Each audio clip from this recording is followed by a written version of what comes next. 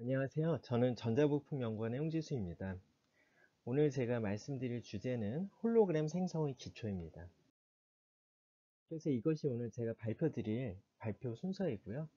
가장 먼저는 어, 일단 홀로그램 생성의 가장 기초 component라고 할 수 있는 propagation equation들에 대해서 설명을 드리고 이 propagation equation들을 잘 사용해서 우리가 대상 물체로부터 파면이 전파해 나가는 그러한 환경을 시뮬레이션하고 컴플렉스 홀로그램을 얻어내는 그러한 과정에 대해서 말씀을 드리고요.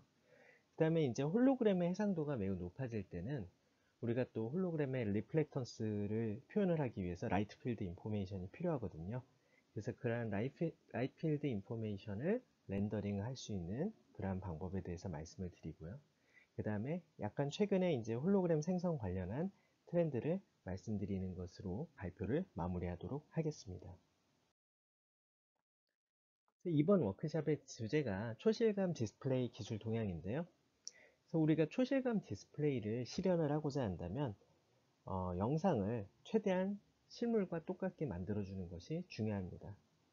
이제 실물과 똑같은 영상을 표현하는 방법들이 어, 그러하기, 그렇게 하기 위한 요구 조건들이 많이 있지만 어, 그 중에 한 가지 굉장히 중요한 요소가 어, 영상의 3차원 정보를 표현을 하는 것인데요. 우리가 이제 아무래도 holographic 디스플레이의 경우에는 3차원 정보를 가장 완벽하게 표현한다고 알려져 있기 때문에 어, holographic 디스플레이에 대한 이해가 중요하다고 할 수 있습니다. 그래서 먼저 이 holographic 디스플레이에 대해서 좀 설명을 드리자면 holographic 디스플레이라는 것은 파동광학에 기반해서 3차원 정보를 표현할 수 있는 그러한 디스플레이 시스템을 말을 합니다. 그래서 우리가 파동광학을 이용한 holographic 디스플레이가 어떻게 3차원 정보를 보여주는가를 이해하기 위해서는 우리가 파동광학 기반으로 물체를 어떻게 보는가 하는 것을 먼저 볼 필요가 있는데요. 우리가 파동광학에서 물체를 보는 것은 광원이 있고 그래서 이 광원으로부터 출발한 빛이 어, 물체의 표면에서 산란이 돼서 그래서 이러한 산란된 파면이 결국에 우리 눈에 도달하게 되면은 우리가 아 여기에 3차원 물체가 있구나 라는 것을 인지를 하게 됩니다. 근데 이때 어, 우리가 파동광학적으로 보면은 어, 광원에서 온 빛이 이 물체의 표면에 있는 무수하, 무수히 많은 점들에서 어, 산란이 된다고 생각을 하게 되는데 이 각각의 점들은 어, 구면파를 발생을 시키게 되고요. 그리고 그 구면파들의 모임이 결국에 파면이 돼서 어떤 임의의 파면이 돼서 우리의 눈이 눈에 도달하게 된다. 이것이 바로 이제 어, 우리가 중고등학교 때 많이 배웠던 하위언스의 원리가 되겠죠. 그래서 holographic 디스플레이는 이러한 파동광학적인 원리에 의해서 사람이 3차원 물체를 보는 그러한 원리에 의해서 구동을 하게 되는 어, 디스플레이 시스템이라고 할 수 있는데요. 그래서 이제 그 holographic 디스플레이는 앞서 말씀드렸던 그러한 물체를 맞고 나오는 파면, 이 파면을 이러한 어떤 평면 혹은 뭐 평면이 아니더라도 디스플레이 시스템이 있어서 이 화면을 정확히 재현해 줄 수 있다면 우리가 보기에는 어 실제로 물체가 없더라도 이런 화면이 만들어내는 가상의 물체를 볼 수가 있게 되는 것이죠. 그래서 이렇게 어 우리가 보고자 하는 물체의 파면을 재생해 주는 것이 holographic 디스플레이고 결국에 파동광학적으로 가장 정확하게 3차원 정보를 보여줄 수 있는 디스플레이인데요. 하지만 이러한 파동광학에 의한 파면을 재생하기 위해서는 우리가 일반적으로 빛을 볼 때는 빛의 세기만을 느끼게 되는데 세기뿐만이 아니라 우리가 파동이기 때문에 위상 정보까지도 모두 필요하게 됩니다. 하지만 우리가 보통 사용하는 디스플레이 시스템이라든지 아니면 뭐 CCD 같은 recording 시스템이라든지 이런 것들은 보통 다 그 빛의 세기만을 기록하고 보여주기 때문에 우리가 이러한 holographic 디스플레이, 즉 파면을 재생하는 디스플레이를 구현하기 위해서는 빛의 세기뿐만 아니라 위상도 기록하고 재생할 수 있는 방법이 필요하다고 할 수 있습니다.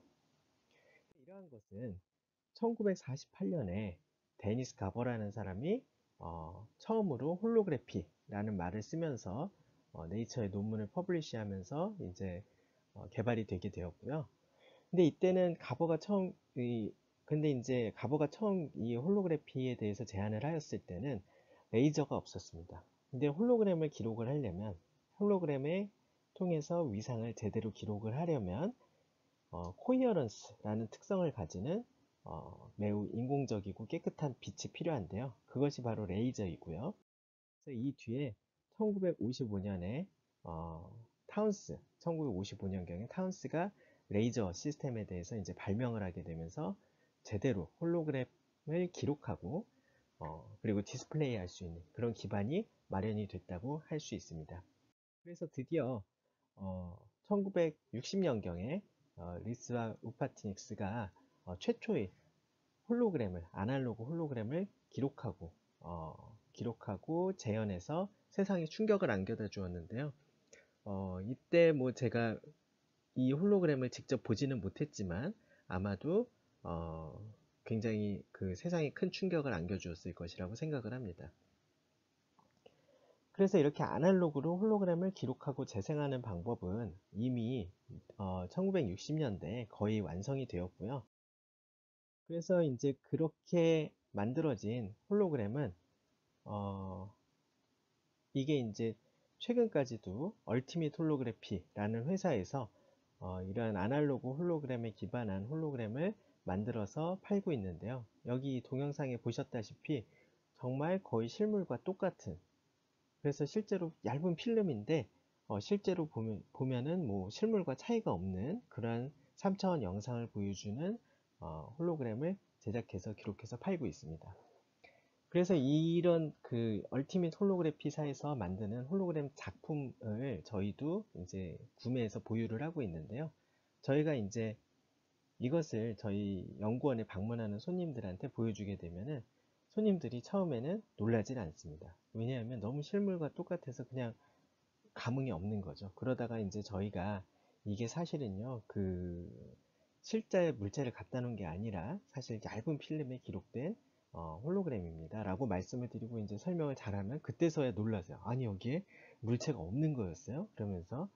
그래서 그 정도로 이제 실물과 똑같은 3차원 영상을 재현할 수 있는 것이 아날로그 홀로그래피이고요. 그것은 이제 말씀드렸다시피 기본 기술은 이미 1960년대에 다 개발이 되었습니다. 그래서 이것을 기록하는 방법은 여기 대충 보시면은 홀로그램을 기록을 하는 것은 우리가 레이저라는 아까 말씀드렸다시피 레이저라는 coherence를 가지는 어 아주 깨끗하고 인공적인 빛을 잘 collimation을 시켜서 광원으로 사용하고요. 이것을 이제 beam splitter에 의해서 두 개로 나눠서 하나는 물체를 맞춰서 물체에서 산란되는 object beam을 얻어내고 또 하나는 기준광이라고 하는 reference beam으로 나누어서 이 둘을 holographic 필름 위에서 간섭을 시키게 되면 그 간섭 무늬로서 홀로그램이 기록이 되게 되는데요. 그 이렇게 기록된 홀로그램을 갖다가 이때 이제 이 기록된 홀로그램은 세기 정보만을 가지는 간섭 무늬가 되게 됩니다. 이때 이 홀로그램을 기록된 홀로그램에 어, 우리가 원래 이 홀로그램을 기록할 때 사용했던 기준광 이 기준광과 동일한 기준광을 조사를 해주게 되면 이 우리 물, 우리가 이제 기록할 때 썼던 물체로부터 산란된 빛이 없었다 하더라도 그 산란된 빛과 똑같은 파면을 재생을 해내게 되는데요. 그래서 요거를 관찰자가 요 파면을 관찰자가 관찰하게 되면 여기에 기록할 때 썼던 물체와 똑같은 가상의 object가 있는 것처럼 보게 되겠죠. 그래서 이제 홀로그램을 아날로그 홀로그래피에서 홀로그램을 기록하고 재생하는 데 있어서 필수적인 요소는 첫 번째는 레이저이고요. 레이저 빔, coherence length를 가지는 인공적인 레이저 빔이 필요하고 그리고 그 다음에 어, 요것을 갖다가 기록할 수 있는 홀로그램 필름이 필요합니다. 그래서 이 두 가지를 통해서 홀로그램을 기록하고 재생을 할 수가 있었는데요. 이제 우리가 이것은 옛날 옛날 1960년대 얘기고 그 다음에 이제 우리가 SLM이라든지 CCD 같이 전자 장비들이 나오게 되면서 마치 우리가 필름 카메라에서 우리가 디지털 카메라로 넘어갔듯이 홀로그램도 당연히 어, 필름에 기록하고 재생하는 게 아니라 어떤 디지털로 기록을 하고 디지털 데이터를 재생해서 보여주는 그런 것을 하고 싶겠죠. 그래서 이제 아날로그에서 우리가 이제 아날로그에서 디지털 홀로그래피로 넘어가게 되는데요. 이때 이제 우리가 원하는 것은 어, 물체로부터 산란된 이 빛을 어떤 디지털 holographic 카메라가 있어서 이걸로 기록을 하고 그렇게 되면은 원래 그 아날로그 홀로그래피에서 필름에 기록되었던 그 간섭무늬 파, 간섭무늬를 이제 데이터, 디지털 데이터로 확보를 하게 된 다음에 이 디지털 데이터를 갖다가 이제 우리가 원하는 대로 뭐 processing도 하고 뭐 혹은 전송도 하고 그렇게 해서 결국에 이렇게 된 디지털 데이터를 우리가 디지털 디스플레이 device 예를 들면 LCD라든지 뭐 그런 것들에 띄워주게 되면 이걸로부터 이제 화면을 다시 재현을 해서 어 사람한테 어 가상의 3차원 물체를 보여주게 되면 이게 이제 아날로그 홀로그래피에서 디지털 홀로그래피로 넘어가게 되는 것이 되겠죠. 근데 이게 이제 쉽지 않습니다. 여러 가지 어려움이 있어요. 그래서 1960년대 이후에 사람들이 이제 아날로그에서 디지털 홀로그래피로 넘어가는 이런 연구를 굉장히 많이 했는데 오랫동안 해왔는데 아직도 어, 완벽히 제대로 되어지지 않고 있습니다. 그 이유는 가장 첫 번째 이유는 일단 홀로그램을 직접 기록하는 게 굉장히 어렵습니다. 왜냐하면은 어, 가장 큰 원인이 광원의 문제예요. 자, 아까 말씀을 드렸지만 우리가 홀로그램을 기록을 하기 위해서는 굉장히 깨끗한 간섭 무늬를 얻어야 되고요. 그 굉장히 깨끗한 간섭 무늬를 얻기 위한 필요 조건은 그 coherence, coherence length가 굉장히 긴 레이저라는 굉장히 인공적인 깨끗한 빛입니다. 그래서 우리가 어, 홀로그램을 기록하려고 하면은 모든 광, 다른 광원들을 차단하고 딱 우리가 하나의 레이저로 그 굉장히 quality가 좋은 하나의 레이저로 어, 물체를 조사해서 그 빛을 가지고 이제 홀로그램을 기록해야만 홀로그램 기록이 제대로 되게 되는데요. 근데 이제 이렇게 하려면은 어, 큰 문제들이 있죠. 먼저 이제 안전 문제가 있습니다. 그래서 우리가 주가로 촬영을 하려고 하면은 어, 즐겨 찾는 피사체 중에 한 가지가 사람이 있고 또 한 가지는 뭐 풍경 이런 것들이 있을 텐데요. 우리가 먼저 사람을 찍고자 하면은 우리가 레이저를 갖다가 사람한테 직접 쏴야 되거든요. 이게 사람들이 좋아할 리가 없죠. 안전 문제가 있으니까. 그래서 이제 일단 사람을 찍는 것은 사람을 홀로그램으로 찍는 게 이제 어려운 일이고요. 두 번째로 사실은 뭐 이거는 안전 문제 생각 안, 안 하고 그냥 무작정 찍어버리면 찍을 수도 있는데 두 번째로 이제 큰 문제는 풍경에 대한 겁니다. 풍경. 풍경은 왜냐하면은 우리가 이 넓은 넓은 영역에 대해서 찍고자 하면 이 넓은 영역을 비추고 있는 주변의 햇빛 이거를 일단 다 차단을 해야 돼요. 이것부터 불가능한데 두 번째로는 이 햇빛을 어떻게 차단한다고 해도 이 넓은 풍경 전체를 단 하나의 레이저로 조사를 해줘야 되고 레이저의 coherence length도 저 멀리까지 갔다 올 때까지 유지되는 그러한 긴 레이저가 있어야 되는데 이런 모든 것이 불가능합니다. 그래서 이제 레이저가 홀로그램을 어, 홀로그램 recording이 가능하게 해주었지만 이제 레이저의 레이저의 필요성 자체가 이제 어, 홀로그래피가 넓게 사용이 되는데 이제 제약점이 되고 있습니다. 그래서 직접 홀로그램을 얻는 것은 굉장히 제한적이고 컨트롤이 잘 되는 환경에서만 가능한 일이고요. 그래서 이제 우리가 보게 되면은 보통 디지털 홀로그램 recording을 어, 하게 된다. 그러니까 직접 홀로그램 recording을 한다. holographic 카메라를 통해서 하는 것은 주로 잘 컨트롤된 의생명 분야 같이 그런 어떤 컨트롤된 실험실 환경에서 어, 제한적인 홀로그램 데이터를 얻어서 이거를 잘 processing해서 또 이 정보량이 되게 적거든요.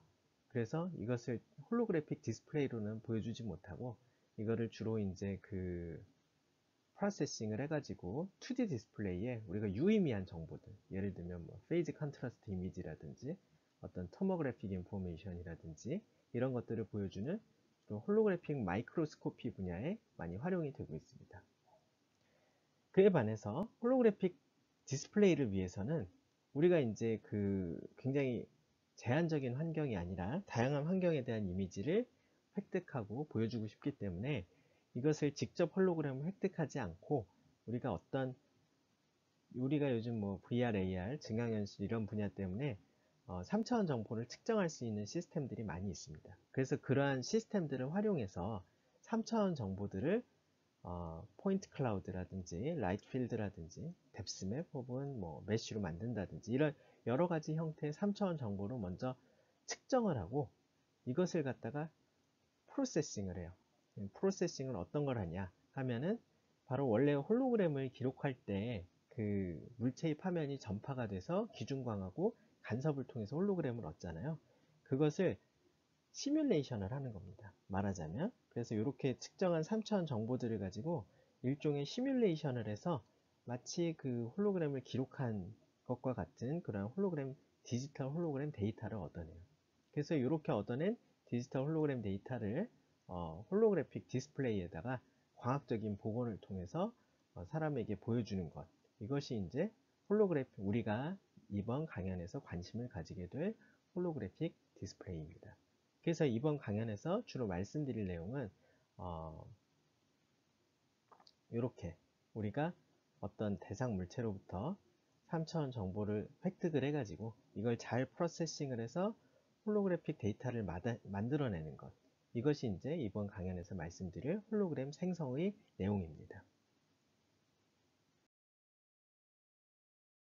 그래서 우리가 이제 이런 홀로그램 생성을 하기 위해서 시뮬레이션 하는 과정에 대해서 뒤에서 이제 자세히 말씀을 드리겠지만 간단하게 설명을 드리자면 아까 앞에서 말씀드렸다시피 어 우리가 물체로부터 산란이 어 물체로부터 빛이 산란이 돼서 어 전파가 되는 과정은 하위원스의 원리에 의해서 어 하이원스, 하이원스의 원리를 따라서 이제 전파가 되게 됩니다.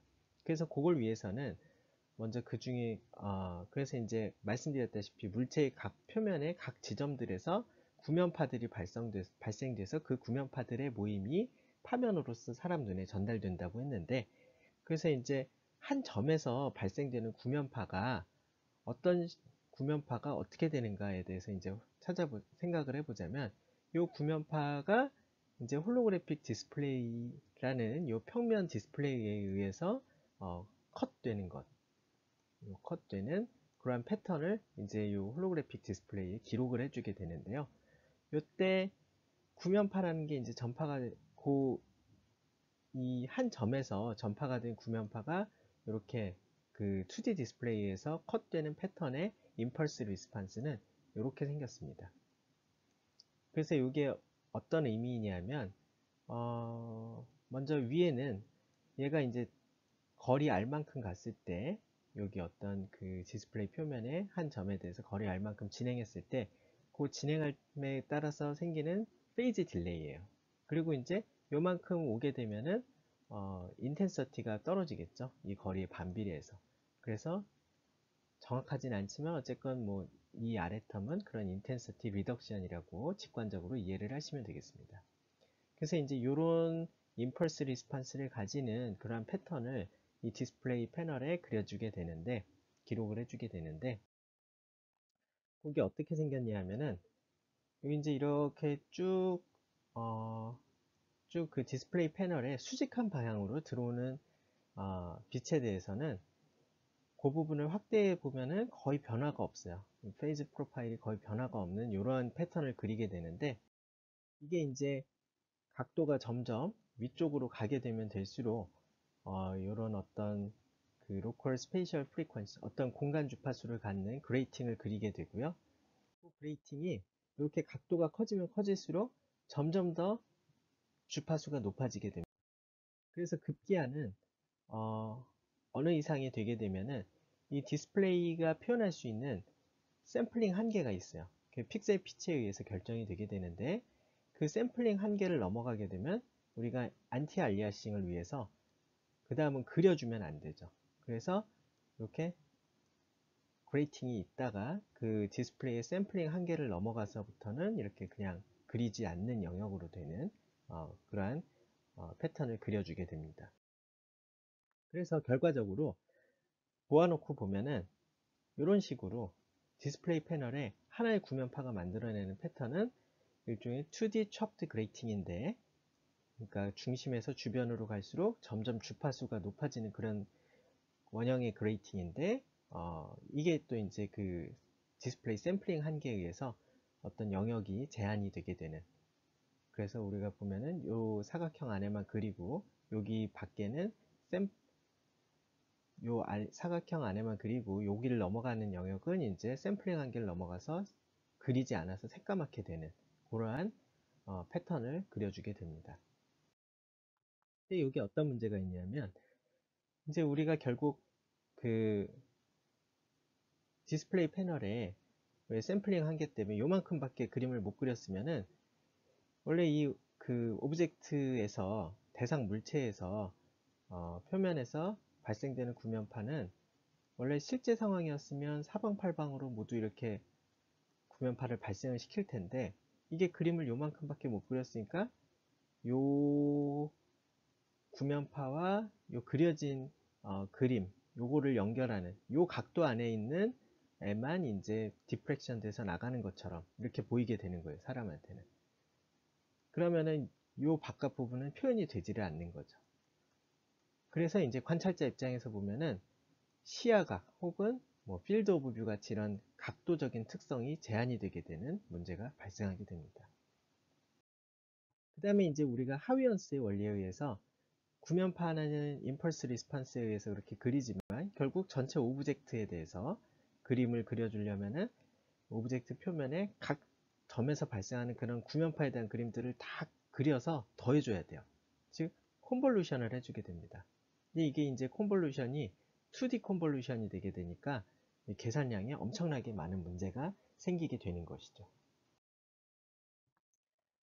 그래서 이제 그 홀로그램 생성에 있어서 우리가 굉장히 여러 가지 문제를 가지게 되는데 그래서 이제 아날로그에서 디지털로 갈때 어 여러 가지 문제들에 대해서 다시 한번 정리해서 말씀을 드리자면 우리가 원하는 것은 원래 필름에 기록하던 것을 이러한 어떤 spatial light modulator 그 전자적인 디스플레이 장치로 바꿔서 하고 싶은데 근데 이때 문제는 샘플링 한계가 있기 때문에 우리가 field distribution을 그림에 있어서 anti-aliasing을 해주기 위해서 이제 일정 영역 그 다 그리지 못하고 일정 영역 안에밖에 못 그리게 되고 그 결과로 이제 그 point source를 그림 point source의 diffraction angle이 제한이 되게 되는 거죠. 그리고 이것이 이제 field of view나 viewing angle 이런 데 영향을 미치고요.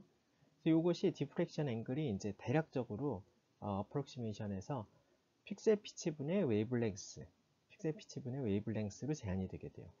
그리고 이것이 이제 field of view에 영향을 미치고요.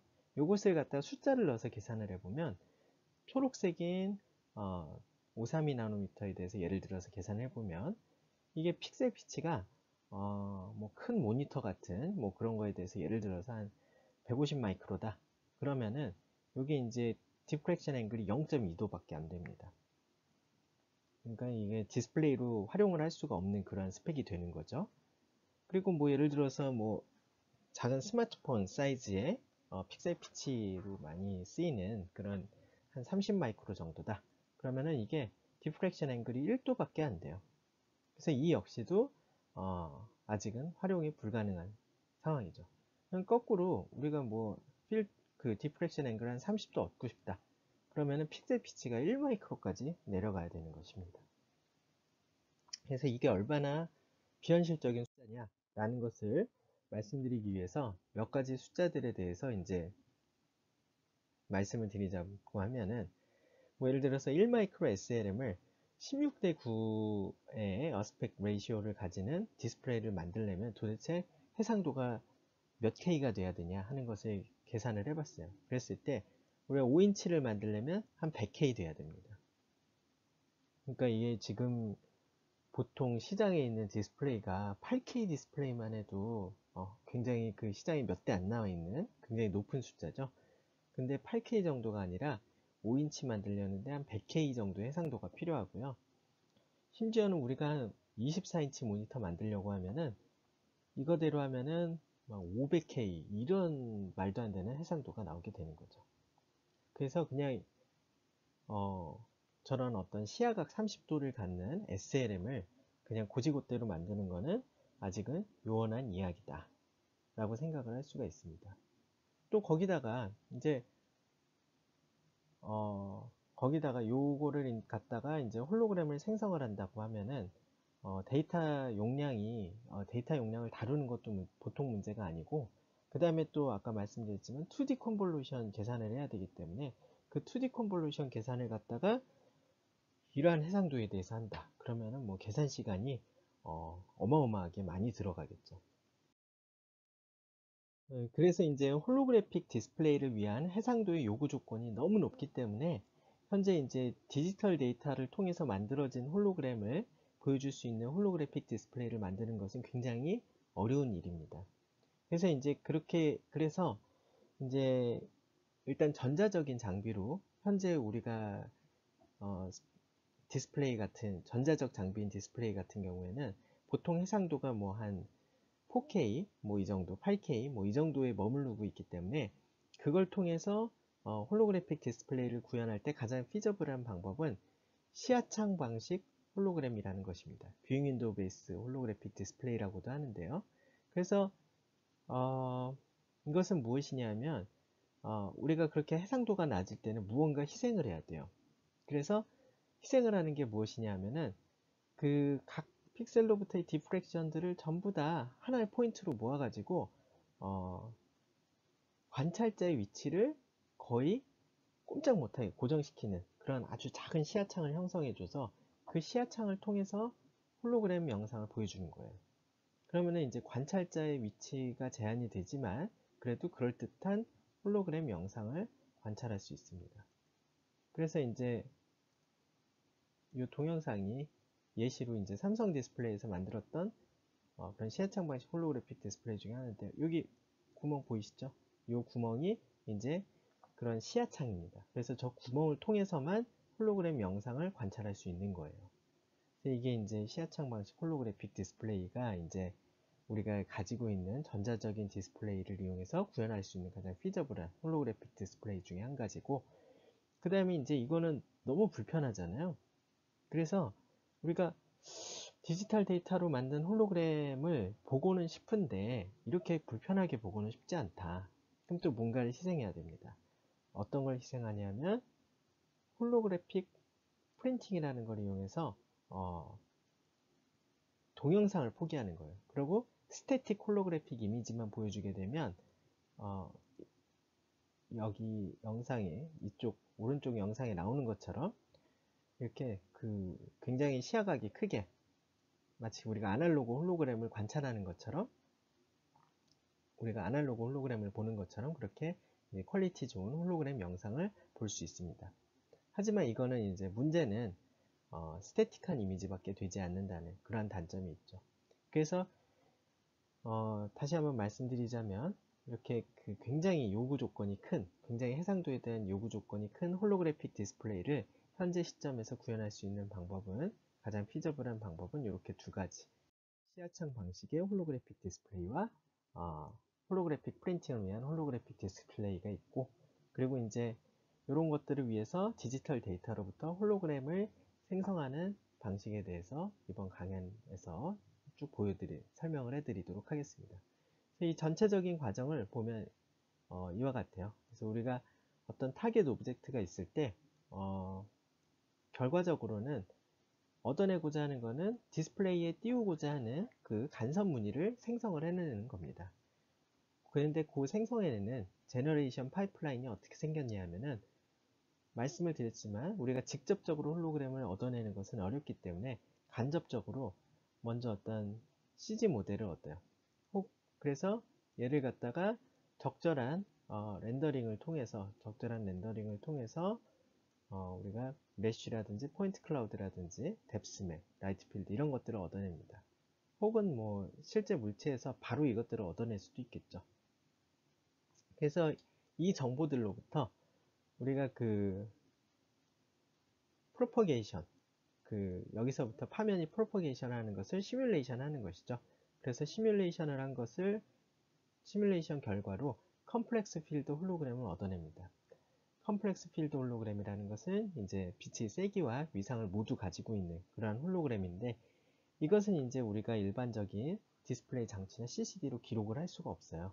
그래서 이것을 어, 실제 아날로그 홀로그래피에서는 기준광과의 간섭으로 어, 세기 정보로 어, 변환을 하게 되는데 어, 우리가 디지털 데이터를 다룰 때는 여러 가지 방법의 계산을 통해서 encoding을 해서 어, amplitude만 가지고 있는 어, 정보라든지 혹은 amplitude only라든지 혹은 phase only 이미지로 변환을 합니다.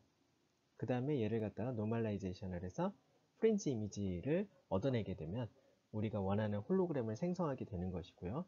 이 모든 과정이 이제 우리가 이 아날로그 홀로그래피에서 어, 간섭 무늬를 기록을 하던 그 recording 과정을 일종의 흉내내는 그렇게 해서 디지털적으로 흉내내서 생성을 하게 되는 그런 과정이 되겠습니다.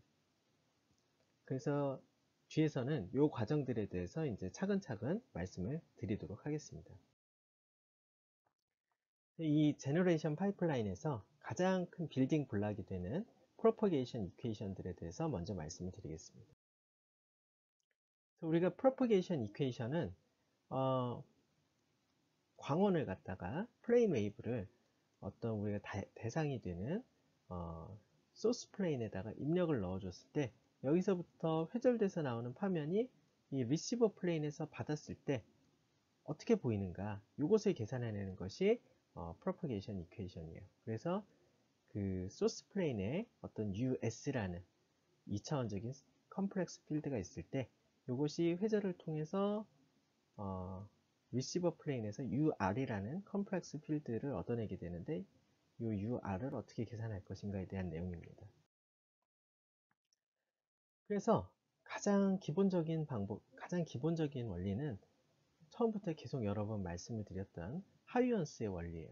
그래서 우리가 어떤 aperture를 지날 때, 혹은 뭐 어떤 표면이어도 상관없지만 aperture를 지날 때 이 wave front가 어떻게 형성이 되느냐 하면은 이 어퍼처를 무수히 많은 작은 점으로 나눠서 그 점들이 구면파를 발생시킨다. 그리고 그 구면파들의 집합이 그 다음 파면을 만들어내게 된다. 이 Huygens의 원리에 의해서 이제 우리가 어, 그 diffraction 돼서 전파되는 파면의 파면의 방정식을 계산하게 됩니다. 그래서 이제 아까 다 설명을 드렸지만 소스 플레인에 소스 플레인을 소스 플레인의 임펄스 리스판스를 먼저 구해요. 그래서 impulse response가 이렇게 되는데 그 impulse response들을 결국에는 receiver plane에서 convolution을 해주게 되면은 그것이 receiver plane의 complex field로 나타나게 됩니다. 이것이 이제 Rayleigh-Sommerfeld diffraction integral이라는 것인데 앞으로 줄여서 이제 RS integral이라고 칭하도록 하겠습니다. 그래서 이게 이제 어, 중요한 점은 이제 RS 표현이라는 게 이제 이 발표 전체를 통틀어서 어, 가장 정확한 diffraction solution이에요. 그러니까 ground truth 정답이라고 할 수 있는 거죠. 그래서 이제 scalar diffraction theory 내에서는 어, 정답이라고 할 수 있는데 문제는 이제 이게 convolution이라는 거죠. 2D convolution form이라는 거죠. 그래서 이제 요걸로 계산할 수 있었으면 요걸로 이제 모든 계산이 될 수 있었으면 propagation equation은 원래 여기서 끝. 더 이상 생각할 필요가 없는 것인데 요게 이제 계산하는 게 너무나 힘드니까 왜냐하면 2D convolution이라서 너무나 계산량이 많아지기 때문에 사람들이 여러 가지 다른 방법으로 우회적으로 이걸 계산할 수 있는 방법들에 대해서 생각을 해보게 되었습니다. 그래서 그 첫 번째가 이제 angular spectrum method라고 불리는 방법인데요. 이게 사실 뭐 별건 아닙니다. 우리가 그 Fourier transform에 대해서 배우다 보면 그 convolution을 계산할 때 convolution을 계산한 직접 계산하는 방법도 있지만 그 대신에 어, kernel에 대한 어, kernel에 대한 Fourier transform 그 spatial domain에서의 convolution을 어, Fourier domain에서 그러니까 주파수 domain에서는 곱으로 표현할 수 있죠.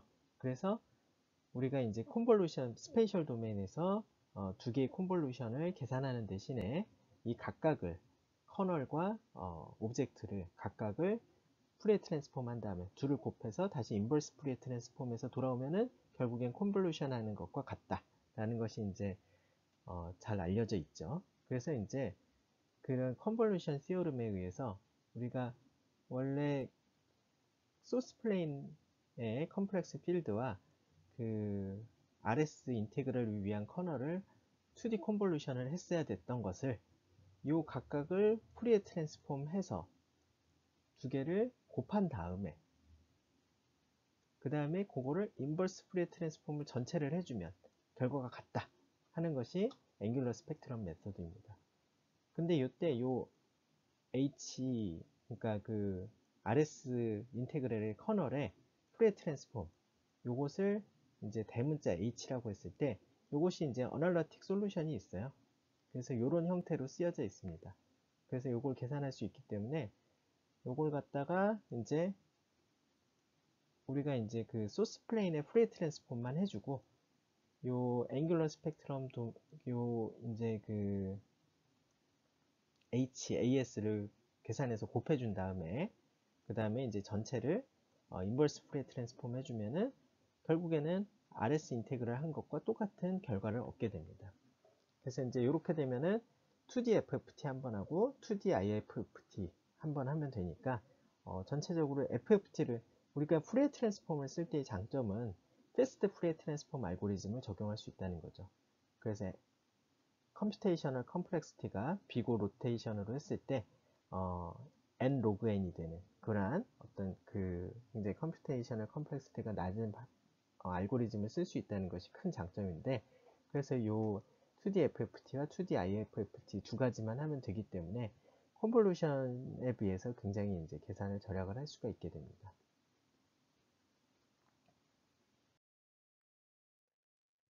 근데 이제 이것을 angular spectrum method라고 부르는 이유는 뭐냐?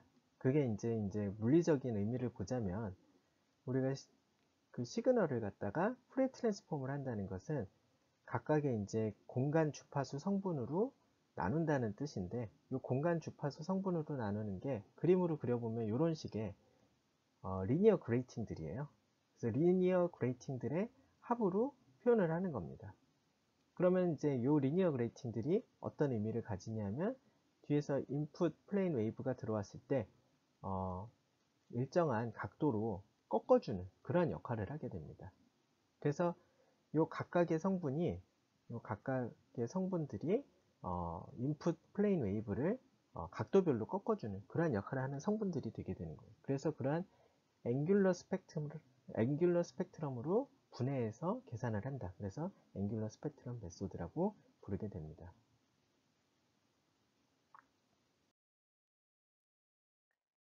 그리고 이제 또 한 가지 방법은 어, 우리가 이제 approximation을 통해서 계산하는 방법이 있는데요. 그게 이제 Fresnel diffraction, Fresnel diffraction integral이에요. 그래서 이제 Fresnel diffraction integral이라는 것인데 이것은 이제 paraxial approximation이라는 것에 기반을 두고 있습니다. 그래서 paraxial approximation이라는 것은 무엇이냐 하면은 우리가 빛이 전파가 될 때 상당히 멀리 떨어진 때까지 이제 전파를 시켜서 관찰을 하게 되면은 어 그때 이제 대략적으로 이게 빛의 진행 방향이 있고 이게 이제 XY 평면이라고 하면은 빛이 대부분 요 진행하는 axis 근처에 있다. paraxial이다. 그랬을 때 이제 approximation을 할 수 있는 근거가 되는 겁니다. 그래서 이렇게 z가 x-사이 y- z가 x-사이나 y-에타보다 매우 크다고 할 때 요 우리가 거리 r 거리 r을 계산할 때 이것을 원래는 square root의 x-사이 제곱 플러스 y-에타의 제곱 플러스 z 제곱 이렇게 계산을 했어야 되는데 이걸 우리가 Taylor series expansion을 통해서 이런 식으로 approximation을 할 수가 있어요. 그래서 이렇게 approximation을 하게 되면 원래 이것이 이제 RS integral 식이었는데 그것을 이런 식으로 식을 바꿀 수가 있습니다. 그래서 이것이 이제 paraxial approximation이 들어간 Fresnel diffraction integral의 식이 되게 됩니다. 그래서 이것은 어떻게 볼 수 있냐면 impulse response의 식이 조금 바뀌었어요. RS에서는 R을 계산했었어야 되는데 그 R을 계산하는 것이 없어지고 이런 식으로 impulse response가 바뀌어서 요것에 대한 convolution이라고 생각할 수 있습니다. 근데 이제 얘도 2D 컨볼루션이 됐으니까 approximation을 한 의미가 없다고 생각할 수가 있는데 사실은 이제 요거를 갖다가 잘 식을 갖다가 이제 정리를 해주게 되면 이게 이제 Fresnel diffraction integral의 convolution form 식이고요. 요것을 갖다가 식을 잘 정리를 해주면 이렇게 이런 term을 모을 수가 있어요. 이런 term과 이런 term으로 나눌 수가 있는데 이 term이 뭐냐면 바로 Fourier transform의 kernel입니다. 그래서 이 Fourier transform의 kernel이 있기 때문에 우리가 이 식을 어떻게 이해할 수 있냐면은 요거의 후레 트랜스폼이다. 이렇게 생각할 수 있는 겁니다. 그래서 즉 어, 우리가 우리가 요 뒤에 요 부분을 어, H, FR, FFT라고 얘기를 하게 되면은 이제 요거 곱하기 HR, FFT의 Fourier transform을 하게 되면 Fresnel diffraction integral을 계산한 것과 동일하게 되는 거죠. 그리고 요 앞에 요 term을 곱해주긴 해야 되지만 그래서 이제 이것도 역시 어, FFT를 통해서 computational complexity를 낮추는 방향으로 계산을 할 수 있는 근거가 됩니다. 근데 이때는 이제 약간 조심해 줘야 될 게 있어요. 어떤 조심해 줘야 될 게 있냐면은 이때 이제 어 여기 Fourier transform을 하는 kernel에 이런 람다 지분의 2파이가 람다 지분의 2파이가 곱해지는데 요것 때문에 그 source plane과 receiver plane이 스케일이 달라지게 돼요. 그래서 이제 source plane의 pixel pitch를 이렇게 하고 pixel number를 이렇게 한다고 하면 receiver plane의 pixel pitch는 이런 식으로 바뀌게 됩니다. 그래서 요거는 어떻게 되겠냐 하면은 우리가 이제 diffraction angle을 P분의 람다라고 대충 정하게 되면은 요 P분의 람다에 의해서 회절되는 회절각 회절각이 어, z만큼 propagation 됐을 때 만들어내는 넓이. 이 넓이만큼을 우리가 계산하게 되는 거예요 결과적으로는. 그래서 이제 왜 propagation distance 예를 들어서 이만큼이다. 그럼 계산하게 되는 넓이가 이렇게 또 달라지게 됩니다. 예를 들어서 propagation distance가 여기다 그러면은 어, 계산하는 receiver plane의 크기가 이렇게 되고요 그래서 이렇게 계산하는 receiver plane의 크기가 어, propagation distance에 대해서 달라지는 특징이 있습니다. 그래도 어쨌건 이 방법도 2D FFT를 활용해서 어, computational complexity를 낮추면서 계산할 수 있는 방법 중에 한 가지입니다. 그런데 이러한 propagation equation들을 계산하는 데 있어서 그 앞서 초반에 말씀드렸다시피 그 우리가 디지털 데이터로 표현을 할 때 샘플링 한계 때문에 이제 유의해야 될 점이 있습니다. 그것은 바로 aliasing입니다. 엘리어싱이라는 것은 우리가 이제 그 표현하고자 하는 영상의 주파수가 높아지면은 어, 좀 높아져서 우리가 샘플링 한계를 넘어서게 됐을 때 어, 이상하게 보이게 되는 현상을 말합니다. 예를 들어서 이러한 사인 파형을 표현하는 데 있어서 이 위쪽 그림에 있는 것 같이 샘플링을 충분히 촘촘하게 해준다면 이제 이 사인파를 잘 표현을 할 수 있을 것입니다. 근데 지금 요 아래의 그림처럼 예를 들어서 샘플링 포인트가 여기, 여기, 여기, 여기, 여기밖에 없다. 그러면은 이걸로 샘플링한 정보가 너무 작기 때문에 우리가 원래는 이런 사인파를 표현하고 싶었지만 이게 이런 사인파인지 이런 사인파인지 알 수가 없게 되는 거죠. 그래서 이제 우리가 요 예를 들어서 이런 주파수를 갖는 사인파를 샘플링하기 위해서는 충분히 높은 샘플링 포인트가 있어야만 이거를 표현할 수 있다는 것입니다. 그래서 이제 예를 들어서 알리아싱에 의해서 그럼 그림에 어떤 결과를 미치냐 예를 들어서 이런 그림은 샘플링이 잘 돼서 잘 보이는 그림입니다. 근데 샘플링이 충분히 하지 않아서 어, 여기에 아마 벽에 벽돌들이 이제 있을 텐데 그 벽돌 무늬를 충분히 표현할 정도의 샘플링 포인트가 없으면은 이런 식으로 없던 물결 무늬가 보이는 그러한 어떤 aliasing이라는 효과가 일어나게 됩니다. 그래서 이러한 aliasing이 일어나지 않게 우리가 디지털 데이터를 다룰 때는 anti-aliasing이라는 것을 해줘야 되는데 이것은 어, 뭐 별게 아니고 그 우리가 표현할 수 없는 것은 그림을 그리지 않으면 됩니다.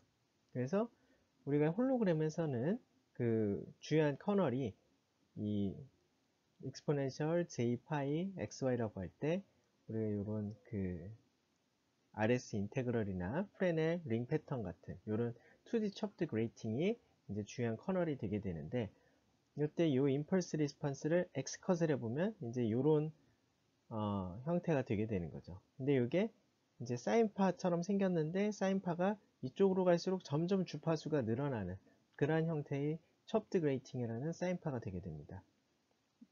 그래서 우리가 얘가 이제 그 프리퀄 공간 주파수를 따지려면 어, local spatial frequency 순간적인 공간 주파수를 어, 따져봐야 되는데요. 그것은 어, first order approximation의 어, phase term에 대해서 해줌으로써 우리가 얻을 수 있게 됩니다.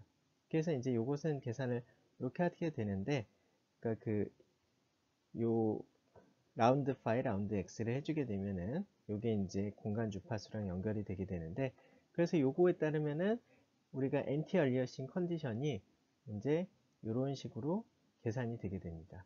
그러니까 이것이 이제 그 순간적인 공간 주파수를 표현하려면 최소한 두 개 이상의 픽셀이 필요하다는 그러한 형태가 되겠습니다.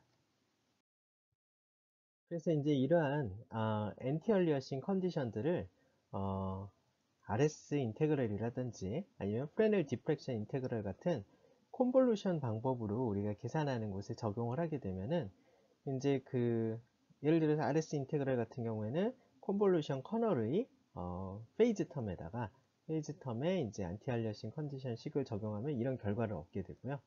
그 다음에 Fresnel diffraction integral 같은 경우에는 kernel이 좀 다르게 생겼기 때문에 이 kernel의 phase term에다가 anti-aliasing condition을 적용하게 되면 이러한 조건을 얻게 됩니다. 그래서 이제 그 RS 인테그럴이나 아니면 프레, Fresnel diffraction integral 같이 convolution 방법에 대해서는 우리가 계산을 할 때 이런 조건을 만족하는 영역에 대해서만 그림을 그려주게 되면 aliasing을 피할 수 있게 됩니다. 그래서 예를 들어서 우리가 kernel을 그렸을 때의 결과를 보면 anti-aliasing을 생각하지 않으면 이제 이런 식으로 그냥 anti-aliasing을 생각하지 않고 모든 영역에 대해서 그림을 그리게 되면 impulse response가 원래는 이런 어떤 Fresnel ring pattern만 나타나야 되는데 이 주변부에도 마치 그 구면 또 새로운 구면파에서 나타난 것 같은 Fresnel ring pattern들이 반복해서 생기게 되는데 이런 것들이 이제 aliasing term이 되게 됩니다. 그래서 이제 이런 것들이 없어져야 되는 신호들이고요. 그래서 이렇게 요 가운데 쪽에 그 anti-aliasing condition을 만족하는 일정 영역만 kernel을 그림을 그려주게 되면 어, 이렇게 aliasing이 없는 신호가 나타나게 되는데 이게 이제 anti-aliasing을 만족시키는 그러한 조건이 되겠죠. 그래서 이렇게 convolution의 방법에는 어, kernel에다가 이렇게 딱 anti-aliasing condition을 만족시키는 영역만 anti-aliasing 마스크를 씌워 가지고 계산을 해줌으로써 어, aliasing을 피할 수가 있습니다. 하지만 이제 angular spectrum method라든지 아니면 Fresnel FFT 같이 FFT에 기반한 방법은 이러한 aliasing 마스크를 씌워서는 이제 아, anti-aliasing 마스크를 씌워서 aliasing을 피할 수는 없는데요. 그것을 이제 어떻게 피할 수 있느냐? 주로 zero padding이라는 방법을 이용해서 피할 수가 있습니다. 그래서 그 zero padding이라는 것을 어, zero padding condition을 구하기 위해서 먼저 angular spectrum method에 대해서 우리가 왜 그 aliasing이 일어나고 그 다음에 어떻게 피할 것인가를 살펴보게 되면 우리가 원래 angular spectrum method라는 것은 이제 RS 인테그럴에서 시작이 된 거잖아요. 그래서 이제 우리가 원래 원했던 것은 source plane이 있으면 어, source plane이 있고 receiver가 있을 때 source plane의 시그널이 이제 뭐 예를 들어서 이런 샘플링 포인트들에서 샘플링된 시그널이다. 그러면은 이제 receiver plane도 이런 어떤 샘플링 포인트들에 대해서 이제 결과값을 계산하게 될 거예요. 그래서 이제 이게 receiver plane의 폭이라고 하면은 어 어차피 이제 angular spectrum method가 어, RS 인테그럴이랑 같은 것이기 때문에 RS integral 식으로 계산 생각을 하게 되면은 이런 예를 들어서 이 각도가 이제 그 anti-aliasing 조건을 만족시키는 각도다. 그러면은 요 각도 안에 들어오는 애만 anti-aliasing 마스크를 씌워서 그래서 요 시그널에서 나온 어, 필드는 요 각도 안에 들어가는 요 얘네들에 대한 포인트에 대해서만 영향을 미치도록 계산을 하고 요 또 옆에 있는 점에 대해서는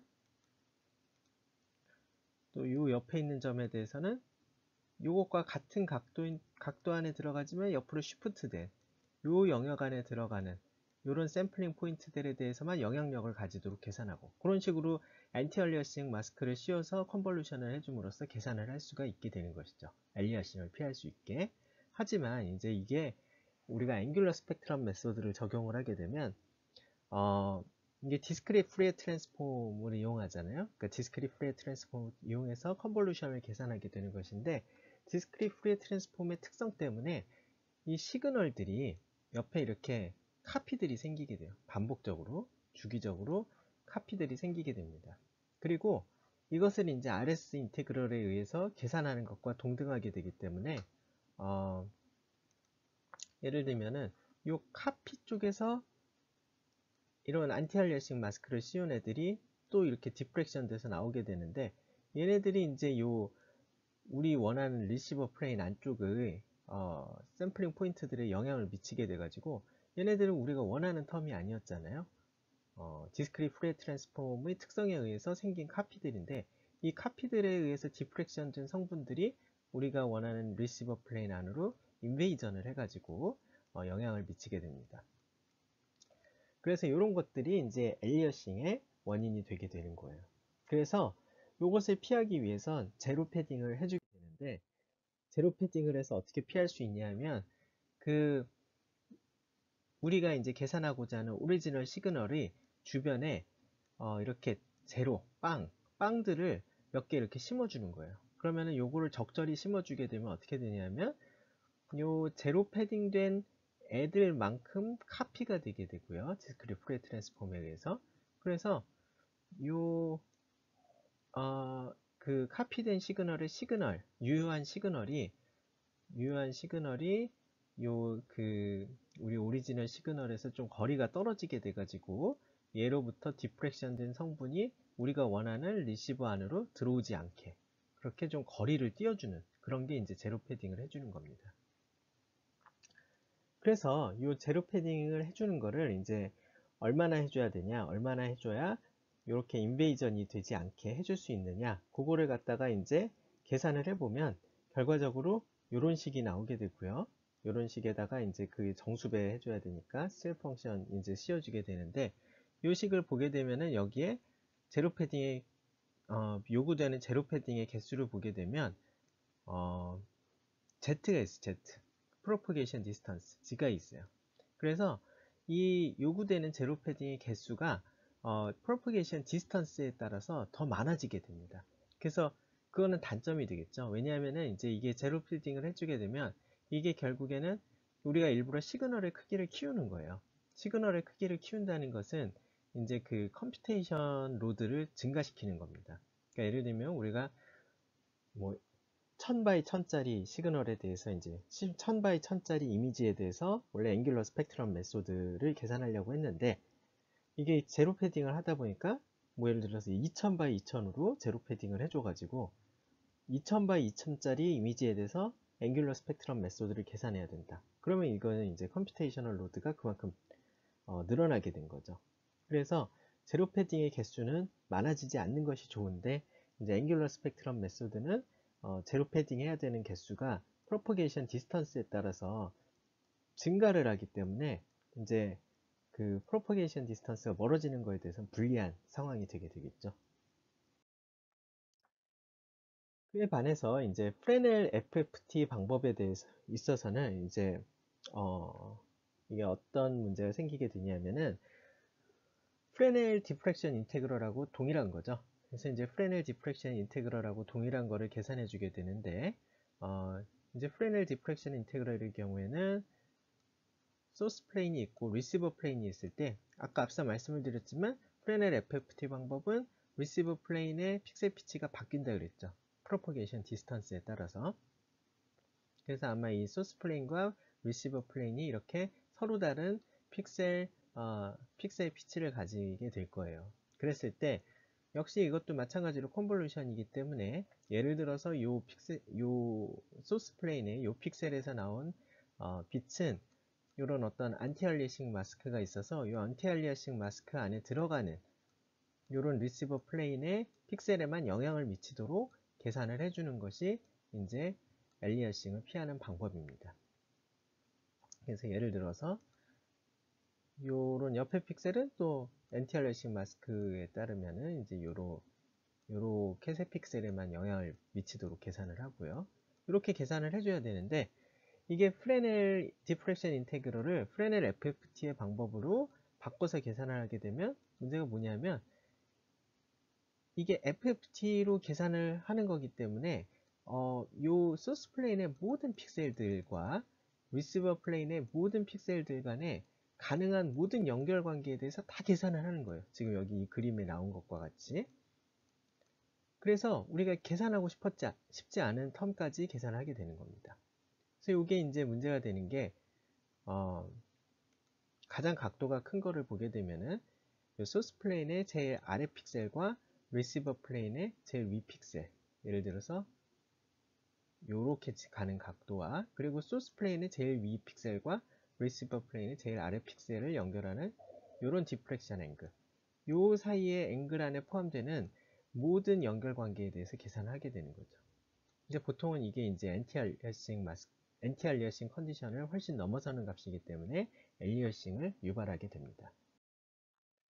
그래서 이거를 이제 피하기 위해서 어, zero padding을 해줘야 되게 되는데 그래서 이제 source plane 입장에서 보면은 아까도 말씀드렸지만 요것과 요, 요렇게 요렇게 연결하는 요 각도 요 각도 안에 들어가는 모든 애들이 요거는 이제 FFT의 성질에 의해서 이제 요것을 요 안에 들어가는 모든 애들을 계산하는 것을 피할 수는 없어요.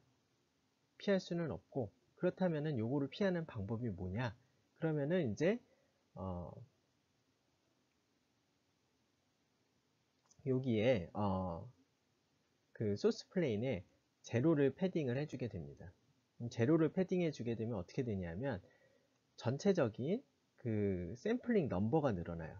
그럼 sampling number가 늘어나면 어, 떤 효과가 되냐면은 이 discrete Fourier transform의 어, 효, 그 성질에 의해서 요 리시버 플레인의 어, 리시버 플레인의 그 리시버 플레인의 어, 샘플링 어, 픽셀 피치가 작아지게 됩니다. 즉 받아들일 수 있는 diffraction angle이 커지게 되는 거죠. 그러면은 이제 여기가 이제 그 sampling point의 개수가 늘어났기 때문에 그래서 결과적으로 pixel pitch가 작아졌기 때문에 받아들일 수 있는 diffraction angle을 키울 수가 있는데 그래서 요 우리가 원래 의도했던 시그널이 가장 이렇게 각도가 큰 거 얘네들을 다 받아들일 수 있을 만큼 diffraction angle을 키우면은 그렇게 될 만큼 zero를 padding해 주게 되면 얘네들은 어차피 신호가 없는 애들이니까 여기에 그 요 계산 receiver plane을 계산하는데 영향을 미치지는 않고 그 대신에 시그널에서 나오는 빛들은 다 anti-aliasing condition을 만족하게 그렇게 계산할 수가 있게 됩니다. 그래서 이제 그 어, receiver plane의 available width를 이렇게 계산을 하게 되면은 어, zero padding number를 계산해 보면은 이런 조건을 가지게 되는데 이때 이 Fresnel FFT의 특징은 뭐냐면 어, 요 zero padding 개수가 상수예요, 상수. 그래서 어, angular spectrum method랑 다르게 propagation distance에 따라서 어, 요, 요구되는 zero padding의 개수가 늘어나지 않기 때문에 먼 거리에 대해서 계산을 할 때는 computational complexity 측면에서 Fresnel FFT 방법을 사용하는 것이 더 유리합니다. 그래서 지금까지 여러 가지 propagation equation들에 대해서 이제 살펴봤는데요. 정리를 하자면은 propagation equation의 목표는 이제 source field, source plane에 있는 source field US를 어, 떤 propagation을 시켜서 receiver plane에 있는 receiver field를 계산해내는 것이 이제 propagation equation의 여기, 여기 잘못 썼는데요. UR인데 아무튼 propagation equation의 목적입니다. 근데 여기까지 그래서 이제 여기에서 여기로 가는데 여러 가지들에 대해서 이제 말씀을 드렸는데요. 가장 처음에는 이제 그 RS 인테그럴 2D 콘볼루션으로 계산하는 RS 인테그럴을 말씀을 드렸죠. 그래서 이 HRS라는 RS 콘볼루션 커널을 콘볼루션을 해서 가는 방법. 이게 이제 ground truth에 해당하는 거고요. 그 다음에 이제 이 RS 컨볼루션을 페럭시얼 어프록시메이션을 해서 kernel을 갖다가 Fresnel kernel을 만들어서 이 Fresnel kernel을 convolution을 해가지고 어, Fresnel propagation을 해주는 것, Fresnel diffraction integral에 해주는 것 이러한 방법이 한 가지가 있었고 그 다음에 이 Fresnel diffraction integral의 kernel을 변형을 잘해서 요것을 이제 source field를 바로 어떤 FF 소스 필드에다가 요런 그 HFR FFT라는 kernel을 곱해준 다음에 FFT만 해주면은 바로 그 receiver field로 갈 수 있는 방법. 요거는 이제 요걸 할 때 FFT가 있으니까 zero padding을 해줬어야 됐죠. 이렇게 계산하는 방법. 그리고 이제 RS, 그 다음에 이제 RS 컨볼루션의 그 Fourier transform pair인 angular spectrum kernel transfer function을 갖다가 구해가지고 source field를 FFT를 해준 다음에 얘를 갖다가 요 angular spectrum method kernel을 곱해줘서 요거를 구한 다음에 여기서 IFFT, FFT를 계산해서 convolution을 하지 않고 FFT 두 번으로 계산하는 방법. 요게 이제 angular spectrum method였고요. 그때 요게 zero padding을 해줬어야 됐죠. zero padding에서 FFT 한 다음에 어, angular spectrum method kernel을 transfer function을 곱해주고 얘를 갖다가 IFFT를 어, 해서 계산하는 방법이 있고 또 요 동일하게 프레넬 convolution에 대한 뭐 Fourier transform pair를 갖다가 활용하는 방법도 있겠죠. 그래서 이런 propagation equation들에 대해서 말씀을 드립니다.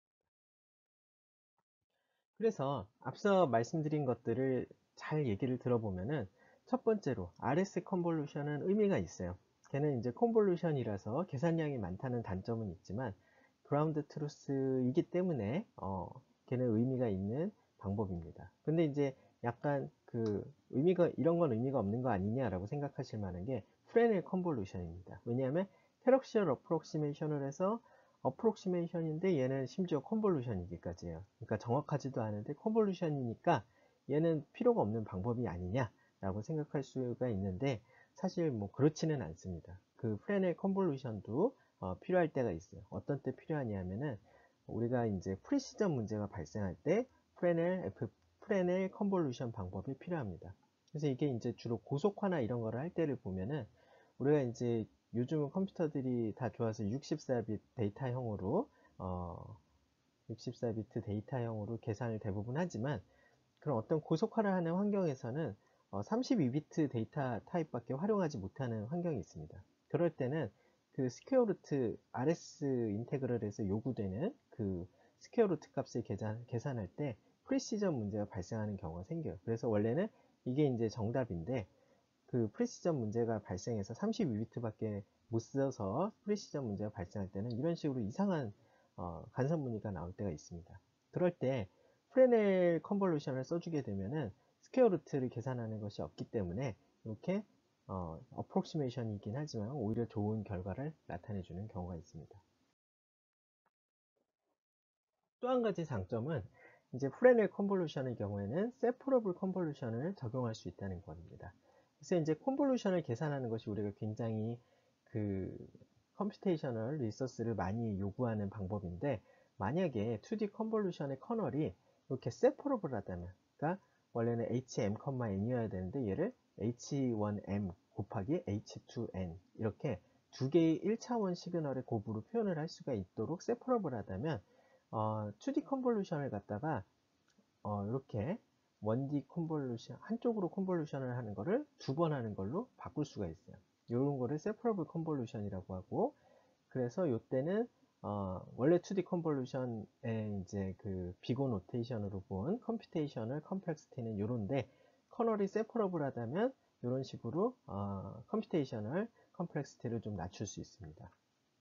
근데 이게 이제 RS 인테그럴의 경우에는 convolution kernel이 separable 하지 않은데 그 프레넬 diffraction integral의 경우에 kernel이 separable 하기 때문에 이런 separable convolution을 적용할 수 있다는 장점이 있습니다. 그 다음에 이제 angular spectrum method와 프레넬 FFT method를 비교를 해보면 어, maximum available receiver width 이 측면에서 보면은 어, 이게 angular spectrum method는 propagation distance가 빵일 때부터 이제 어느 정도 어, receiver width를 갖고 쭉 증가를 하게 되는데 프레넬 FFT의 경우에는 어, 어느 정도 거리 이하에서는 아예 그 어베일러블한 리시버 위스가 없습니다. 그 말은 요 앞에서는 프레넬 FFT 방법을 아예 사용도 못한다는 거예요. 그리고 그거를 지나가게 되면 이제 available receiver width가 이렇게 증가를 하게 되고요. 그래서 이제 maximum available receiver width의 측면에서 보면은 어, 프레넬 FFT는 어, 느 정도 근거리에서는 아예 활용조차 못하는 그런 방법이라고 할 수 있습니다.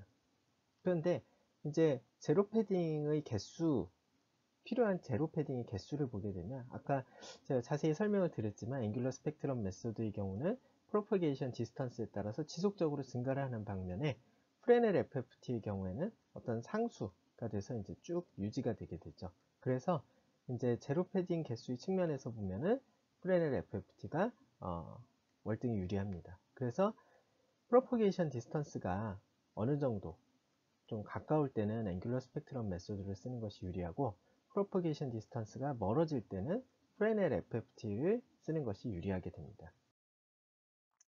그래서 지금까지의 propagation equation들을 전부 정리를 해보면 이렇습니다. 크게 보면 우리가 convolution 기반의 방법과 FFT 기반의 방법 이렇게 두 가지로 나누어 볼 수가 있는데 어, convolution 기반의 방법에는 RS 인테그럴과 프레넬 diffraction integral 이렇게 두 가지가 있고요. 요것의 표현식은 이와 같습니다. 그리고 뭐 anti-aliasing은 이렇게 anti-aliasing 마스크를 씌워주는 방법으로 aliasing을 피할 수가 있고요. 이 둘을 비교해 볼 때 이제 장점과 단점을 비교해 보면 RS의 장점은 당연히 이제 ground truth라는 게 가장 큰 장점이죠. 근데 이제 단점은 말씀드렸다시피 precision에 좀 약하고 이제 kernel이 separable 하지 않아서 separable convolution을 적용할 수 없다는 것이 단점입니다. 그리고 이제 프레넬의 경우에는 장점과 단점이 정확히 RS와 반대죠. 얘는 이제 단점이 이제 approximation이라는 거, 정확하지 않다는 거하고 어, 그에 반해서 장점은 어, precision을 좀더 robust하고 그 다음에 이제 kernel이 separable 하기 때문에 separable convolution을 적용할 수 있다는 장점이 있습니다. 그리고 이제 FFT 기반의 방법인 앵귤러 스펙트럼 메소드와 플래넷 FFT를 비교를 해보면 이제 각각의 표현식들은 이제 이와 같고요. 이때 이제 그 zero padding을 해줌으로써 그 source plane에 zero padding을 해줌으로써 aliasing을 피할 수가 있습니다. 그래서 이제 각각의 조건은 이와 같고요. 그래서 이제 angular spectrum method의 장점을 보게 되면 이제 그 short propagation distance에 유리하다는 게 있고요. 단점은 이제 zero padding을 어, long propagation distance로 가게 되면 이제 zero padding의 개수가 엄청 늘어난다는 게 단점이고요. 어, 역시 또 프레넬 FFT는 angular spectrum method 정확히 반대의 장단점을 가지고 있죠. 그래서 단점은 어, short propagation distance에 대해서는 아예 적용조차 불가능하다. 그리고 이제 그 long propagation distance로 갔을 때는 어, 제로 패딩의 개수가 angular spectrum method보다 적다. 그래서 propagation distance가 짧을 때는 angular spectrum method를 쓰는 것이 유리하고 길 때는 어, 프레넬, FF, 프레넬 FFT를 쓰는 것이 유리하다라고 정리를 할 수가 있겠습니다. 그래서 지금까지 이제 propagation equation들에 대해서 많이 어, 확인을 하였는데요. 그래서 이제 그 다음으로는 그 propagation 아, generation pipeline에서 이렇게 building block으로 있는 propagation equation들을 활용해서 우리가 이런 어, mesh, point cloud, depth map 뭐 이런 것들에서부터 어, free space propagation을 해서 어떤 컴플렉스 홀로그램을 얻어내는 과정 propagation of object 이것에 대해서 말씀을 드리겠습니다. 그래서 먼저 가장 기본적으로 살펴볼 방법은 이제 그 RS integral에 기반해서 혹은 프레넬 FF, 프레넬 diffraction integral에 기반해서 이제 그 후아, 하이언스의 원리, 어, 하이언스의 원리를 활용해서 이제 point cloud 데이터로부터 컴플렉스 홀로그램을 생성하는 방법이에요. 그래서 이것은 이제 우리가 어떤 CG 모델이 있으면은 이것을 렌더링을 통해서 어, 요각 3차원 무수히 많은 각 3차원 점들로 변환을 할 수가 있습니다. 그렇게 되면 이제 어, 뭐 예를 들면 490개의 데이터 포인트로 point cloud 데이터 포인트로 변환을 하면 그게 이제 x, y, z 좌표 그리고 거기에서의 어, 세기와 위상 정보 이런 식으로 하나, 둘, 셋, 넷, 다섯 개의 데이터를 다섯 개의 데이터를 갖는 그러한 어떤 셋으로 표현을 할 수가 있겠죠. 이게 이제 한 점의 정보고요. 그래서 이런 다섯 개의 정보들을 여러 개를 집합을 이렇게 하면은 이게 이제 3차원적인 정보들의 점들이 집합이 되겠죠. 그래서 이런 거를 이제 point cloud 데이터라고 하는데요. 이 point cloud 데이터 set으로부터 우리가 홀로그램을 계산하는 것은 뭐 단순합니다. 그냥 RS integral 식에다가 집어넣어서 계산을 하게 되면 돼요. 혹은 프레넬 어, diffraction integral 식에 집어넣어서 convolution을 통해서 계산을 하면 됩니다. 하지만 이러한 계산 방법은 이제 2D convolution을 써야 되기 때문에 computational load 측면에서 이제 엄청나게 많은 어, computation resource를 어, 요구한다는 단점이 있겠죠. 이렇게 계산하는 거는 뭐 예를 들어서 뭐 간단한 예를 보여드리기 위해서 이렇게 7개의 point cloud가 있었다. 그래서 이게 뭐 예를 들어서 P1 점 같은 경우에는 어,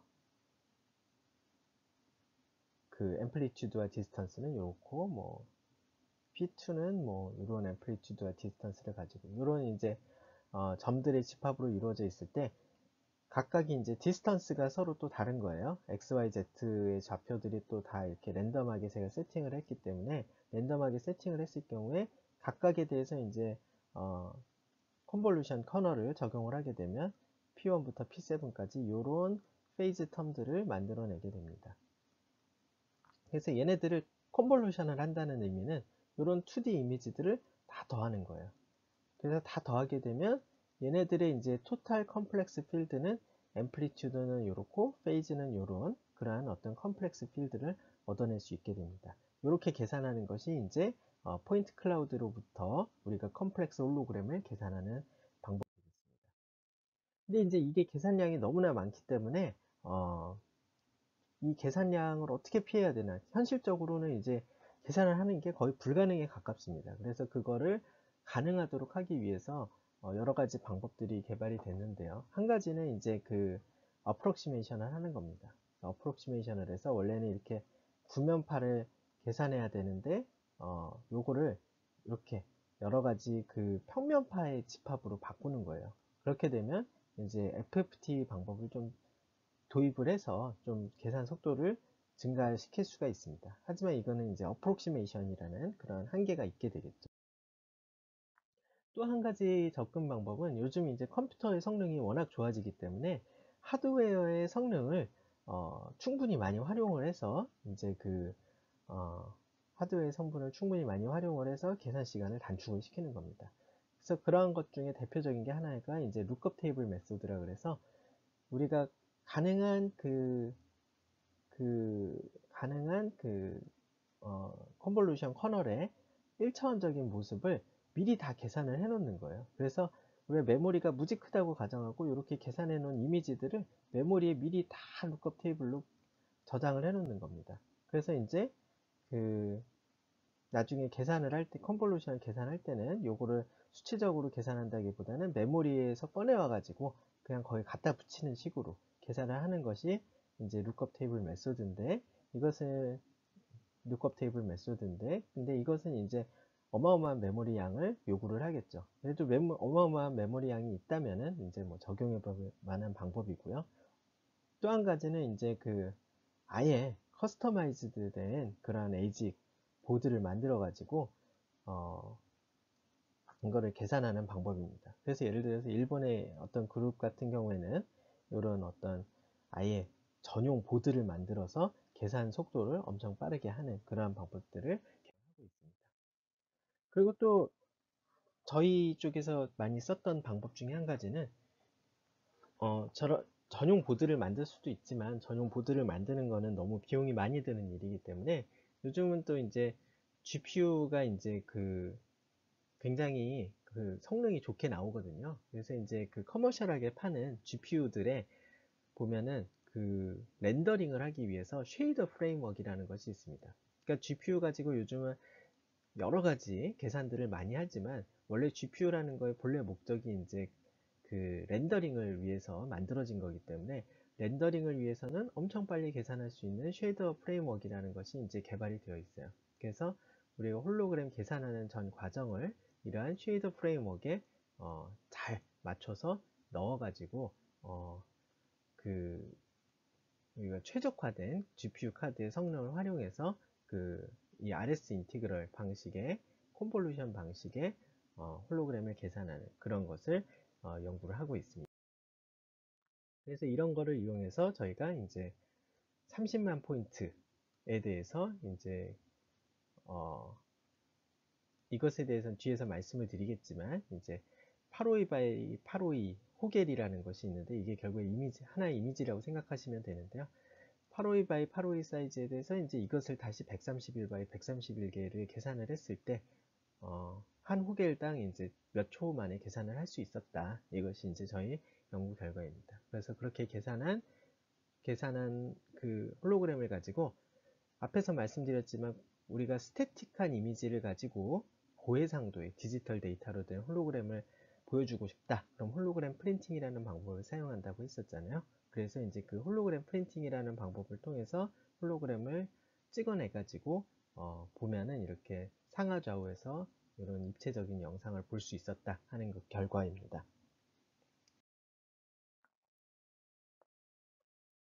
그리고 이제 앞서 말씀드렸던 그 point cloud 기반의 홀로그램 생성은 convolution에 기반한 것이기 때문에 이제 계산량이 너무 많아요. 그래서 어, 좀 어떻게 FFT 방식을 도입해서 계산을 할 수는 없을까라고 생각을 한 게 이제 홀로그램을 depth map 데이터로부터 이제 생성을 하는 것입니다. 그래서 이제 우리가 CG 모델을 어, 갖다가 rendering을 하게 되면은 우리가 보통 얻어내게 되는 게 이제 컬러 이미지하고 depth 이미지입니다. 그래서 이제 컬러 depth 그리고 뭐 필요하다면 alpha map도 얻을 수가 있는데 이 컬러와 depth를 가지고 이 depth map에 이제 그 depth map이 이제 discrete하 그 depth map의 개수가 depth 레벨의 개수가 많지 않다면 우리가 이제 이런 depth slice 이미지를 어, 만들어낼 수가 있습니다. 그러니까 요 어떤 동그란 구의 모양을 갖다가 이런 여러 개의 어, discrete한 평면 이미지들의 집합으로 만들 수가 있는 거죠. 근데 요 discrete한 평면 이미지들의 조합에서 요 평면 이미지들 사이의 간격이 충분히 작다면 아마 사람이 느끼기에는 이게 연속적인 depth가 아닌가 그렇게 느끼게 될 겁니다. 그래서 이제 depth slice 이미지를 통해서 홀로그램을 생성하는 것도 어, 요 평면들 간의 간격이 충분히 작다면 의미가 있는 일이고요.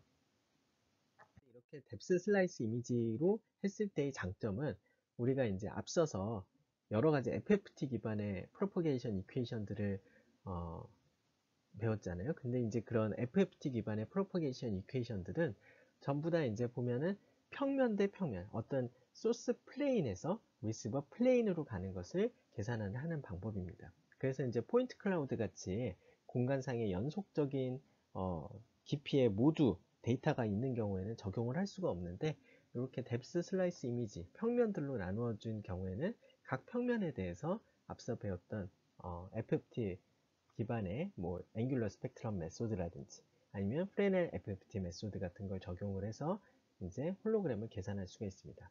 그래서 좀 더 자세히 살펴보면 여기 depth slice 이미지 여러 가지 평면들이 있을 때 예를 들어서 이 plane zero에서 그리고 어, 여기에 이제 이 depth slice image를 우리가 표현하고 싶은데 우리가 홀로그램은 여기 XY 평면에서 구하고 싶어요. 그러면은 어떻게 하면 되겠습니까? 이 depth slice image를 이 홀로그램 평면으로 propagation 시키는 겁니다.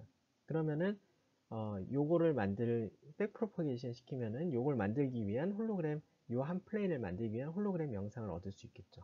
또 그 다음 plane에 대해서도 back, 플레, back propagation 시켜서 어, 더하고 그때 그 각각의 back propagation은 우리가 앞에서 배웠던 앵귤러 스펙트럼 메소드나 프레넬 FFT 같은 FFT 기반의 propagation equation을 어, 적용을 하고요. 그렇게 해서 모든 평면들에 대해서 다 더하면 어, 우리가 전체 홀로그램을 얻어낼 수 있겠죠.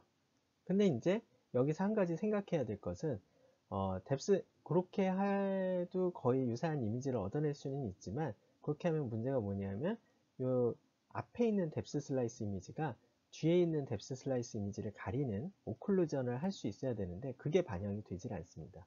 그래서 이제 그렇게 단순히 back, 각 어, 평면들을 back propagation 시키지는 않고 앞에 맨 뒤에 평면부터 시작해서 여기서 이제 관찰자가 관찰을 한다고 할때 어, 맨 뒤에 있는 맨 뒤에 있는 평면에서 어, 요 바로 앞에 평면으로 propagation을 시켜요. 그래서 앞에 있는 평면으로 한번 masking을 해줍니다. occlusion을 구현하기 위해서.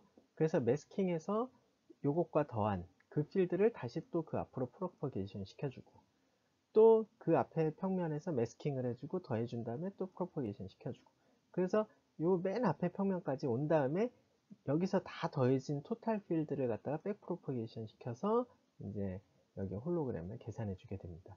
그래서 이 순서도가 의미하는 게 그런 계산 과정을 이 example을 보게 되면 어, 예를 들어서 이제 맨 처음에 시작은 plane zero plane zero의 slice image는 요거예요.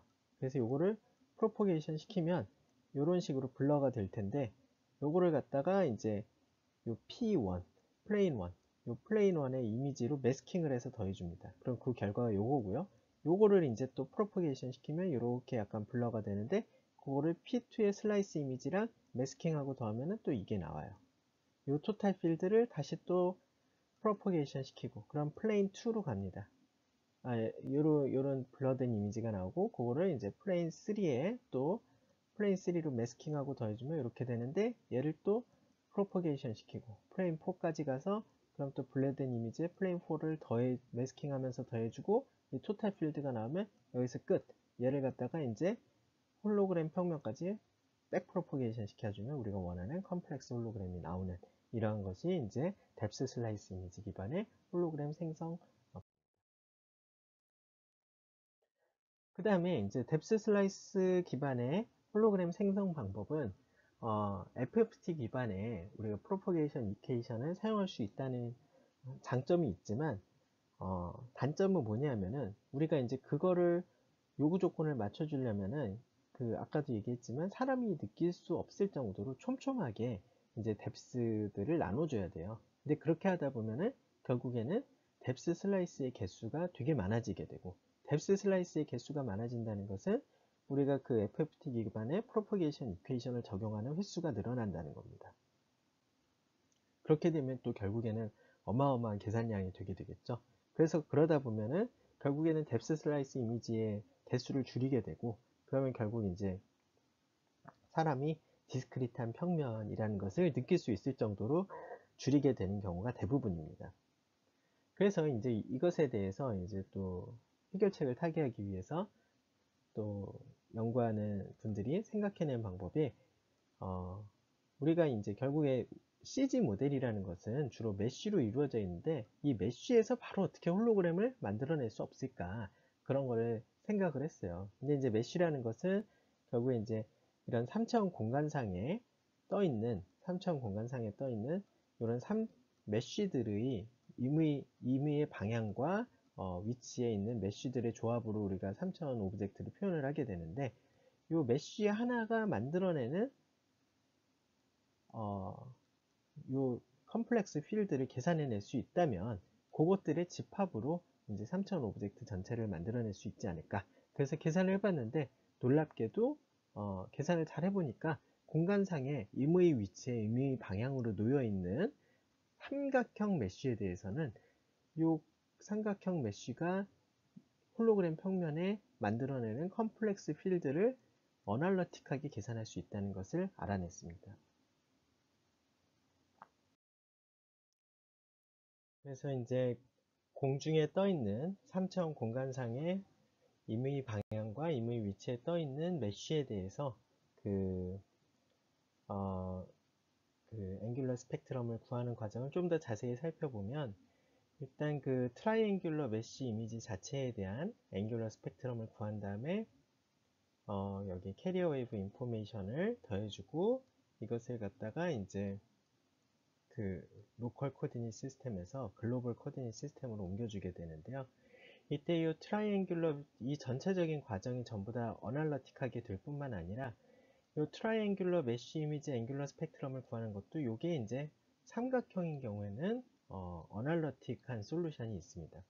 하지만 이 analytic solution은 이제 그 빨리 계산을 할 수는 있지만 어, 삼각형 모양의 어, mesh에 대해서만 가능하다 라는 것이 또 텍스처가 없는 mesh에 대해서만 가능하다라는 것이 단점이 있고요. 요것에 대해서 이제 그 2D FFT를 통해서 angular spectrum을 구하게 되면 이제 arbitrary한 이미지에 대해서도 가능하고 텍스처도 가능하다. 하지만 이제 2D FFT가 필요하기 때문에 computation 양이 많다는 단점이 있습니다.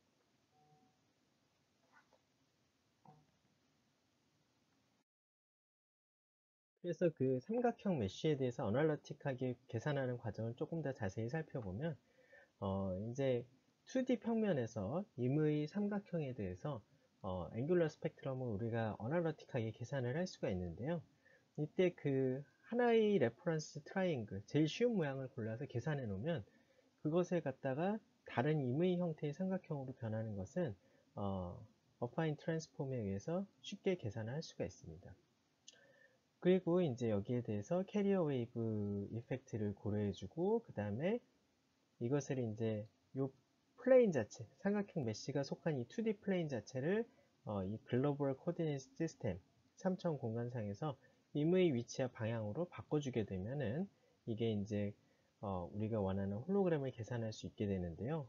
이때 이제 이 계산하는 과정도 analytic하게 계산을 할 수가 있고요. 이렇게 하나하나 계산한 mesh들을 모든 전체 object에 대해서 더해주게 되면 이제 우리가 전체 홀로그램을 계산할 수 있게 됩니다. 그래서 이 자세한 그 식들을 유도하는 것은 너무 복잡하고 어, 려운 과정이기 때문에 관련 문헌을 찾아보시는 것이 어, 좋을 것 같습니다. 그래서 이렇게 이런 과정을 거쳐서 이제 그 mesh base의 홀로그램을 계산해 보면은 뭐 예를 들어서 이런 어, 5084개의 face로 이루어진 소 모델에 대해서 이제 홀로그램을 계산하면 amplitude와 phase를 계산할 수 있고 그리고 이제 이런 식으로 복원을 해보면은 어, 아주 깔끔한 mesh 기반의 소 모델을 구할 수가 있고 computational reconstruction을 focus를 바꿔보면 이렇게 focus도 바뀌는 것을 확인을 할 수가 있습니다. 그래서 지금까지 제가 이제 그 point cloud 기반의 홀로그램을 생성하는 방법 그리고 depth slice 이미지 기반으로 홀로그램을 생성하는 것, 그리고 mesh 기반으로 홀로그램을 생성하는 것들에 대해서 말씀을 드렸었는데, 지금까지 말씀드린 방법들은 이제 그 reflec surface reflectance에 대한 고려가 없었던 그러한 예시, 그러한 방법들에 대해서 말씀을 드렸어요. 근데 이제 사실은 어, 우리가 현재 그 SLM, 그러니까 뭐 4K나 8K 같이 어떤 전자적인 SLM을 가지고 홀로그램을 생성을 할 때는 어차피 너무 해상도가 낮아서 그 시야창 방식 같이 굉장히 고정적인 시점에서 굉장히 그 시점이 거의 고정된 상황에서 이제 홀로그램 영상을 보여줘야 되기 때문에 사실상 surface reflectance information이 별로 중요하지 않은데 이게 이제 뭐 원래는 제대로 된 홀로그램이라서 해상도가 매우 높아서 우리가 이제 어느 정도 시야각을 가지고 홀로그램을 관찰할 수 있다면 surface reflectance가 이제 중요한 information이 되게 됩니다. 특히 홀로그램 printing 같이 이제 되게 고해상도의 홀로그램을 표현할 수 있는 것이라면 우리가 그 surface reflectance 정보가 중요하게 되는데요. 홀로그램 printing에 대해서 조금 간단히 설명을 해드리자면 홀로그램 printing은 이제 우리가 현재 가지고 있는 전자적인 SLM의 경우에는 굉장히 낮은 해상도, space bandwidth product를 가지고 있기 때문에 얘 하나만 가지고는 이제 우리가 그 고해상도의 홀로그램을 표현할 수가 없어서 얘를 갖다가 이제 광학적으로 축소를 합니다. 그래서 거의 우리가 현재 디스플레이 한 픽셀 정도의 크기로 이 SLM 전체 영역을 축소를 하는 거예요. 그래서 얘를 갖다가 홀로그램 필름상에다가 홀로그래피, 아날로그 홀로그래피의 방법으로 하나 딱 찍어줍니다. 그러면 얘를 어, 홀로그램 element 해가지고 hogel이라고 주, 줄여서 부르게 되고요. 이런 hogel을 찍으면 이제 굉장히 작은 크기의 이 모든 SLM에 뭐 4K, 8K 정보가 들어가기 때문에 해상도가 매우 높아지겠죠. 하지만 되게 크기가 작은데 요거를 갖다가 이제 옆에 또 stage로 옮겨서 하나 또 딱 찍고 또 stage로 옮겨서 찍고 이런 식으로 계속 tiling을 해나가서 홀로그램 필름 전체를 채울 때까지 이제 그 찍어 나가는 겁니다. 그러면은 이렇게 다 찍었을 때 전체 홀로그램의 해상도는 굉장히 커지겠죠. 이게 마치 printing 하듯이 어, dot printing 하듯이 이렇게 하나하나 찍어 나가서 전체 홀로그램을 만들어내서 우리가 이것을 홀로그램 printing이라고 부르고요. 특히 홀로그램 printing에 이제 holographic 프린터라고 할 때 이제 어, 거기서 홀로그램은 이 표현하는 이미지가 홀로그램이어서가 아니라 이렇게 홀로그래피의 방법으로 홀로그램 필름 위에 기록해 주기 때문에 우리가 holographic printing 뭐 이렇게 부릅니다. 그래서 이때 실어주는 영상 정보는 어, SLM에 뜨는 그 amplitude information을 바로 기록을 해주게 되면 이따가 제가 또 자세히 설명을 드리겠지만 4D light field라 그래서 일종의 다시점 영상처럼 이렇게 3차원 영상을 보여주게 되고요. 그래서 이것은 홀로그램 영상을 보여주는 건 아니고 다시점 영상을 보여줘서 매우 해상도가 높은 다시점 영상을 보여주게 돼서 이것은 이제 스테레오그램이라고 부르게 되고요. 어, 또 wavefront printing이라 그래서 amplitude SLM에 우리가 이제 홀로그램을 amplitude only 홀로그램으로 encoding해서 넣어준 것을 올리고 이것을 first order diffraction first diffraction order만을 뽑아내서 컴플렉스 홀로그램 정보를 찍어주게 되면 이거는 정말로 이제 홀로그램 정보를 보여주는 것을 홀로그램 printing을 하게 됩니다.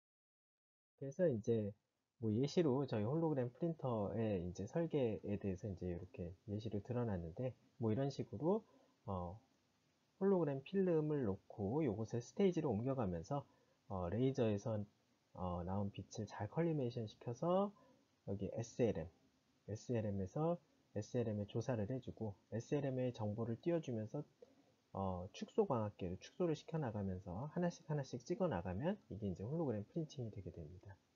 그래서 이런 거를 통해서 홀로그램 printing을 통해서는 우리가 되게 고해상도의 홀로그램을 보여줄 수 있게 되고 이때는 시야각을 가질 수 있기 때문에 reflectance information이 이제 중요하게 되는데요.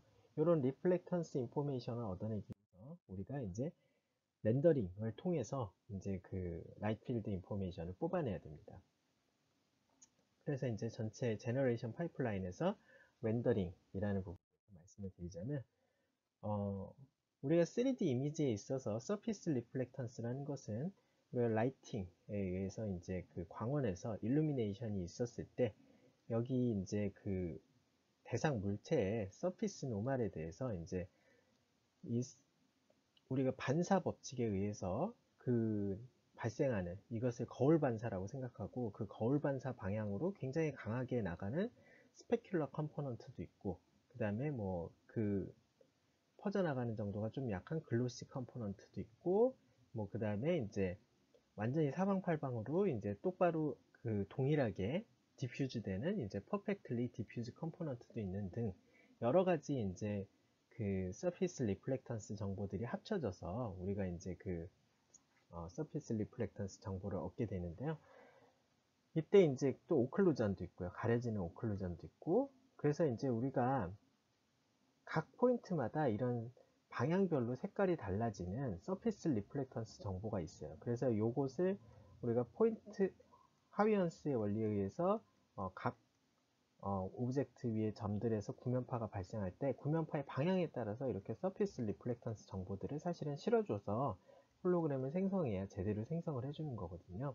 그래서 이제 우리가 실제로 제대로 holographic 3D 이미지를 표현을 할 때는 어, 이렇게 어, ray optics에 의해서 얻어진 light field information이 들어가 있는 surface reflectance 플러스 어, wave optics에 의해서 우리가 어, 홀로그래피에 의해서 precise하게 localization 할 수 있는 그런 3D structure 이 두 가지가 합쳐져서 이제 holographic 3D 이미지가 표현이 되게 됩니다.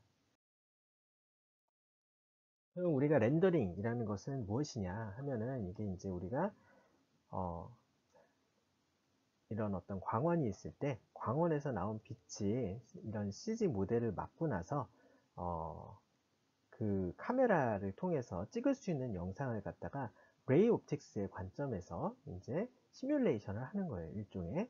근데 이때 시뮬레이션을 할 때 이 CG 모델을 이제 그 우리가 무한히 어, 우리가 컴퓨팅 리소스의 한계가 있기 때문에 우리가 CG 모델의 영역을 무한히 가져갈 수는 없고 어떤 그 영역을 지정해 가지고 이 거리부터 이 거리까지만 계산해라 라고 near far 거리를 정해주고 이 거리 안에 있는 CG 모델에 대해서만 계산해라 라고 이제 우리가 지정을 하게 되는데 이렇게 해서 잘린 요 절두체 렌더링 frustum 이 절두체 내에 존재하는 렌더링 frustum 내에 존재하는 CG 모델에 대해서만 우리가 렌더링을 하게 됩니다.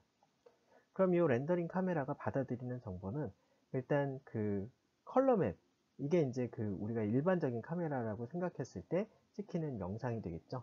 color map을 하나 얻게 되고 그 다음에 이제 depth map 어, 여기 카메라로부터 본 이 CG 모델의 각 픽셀까지의 거리에 해당하는 depth map 이렇게 두 가지 정보를 얻을 수 있게 됩니다.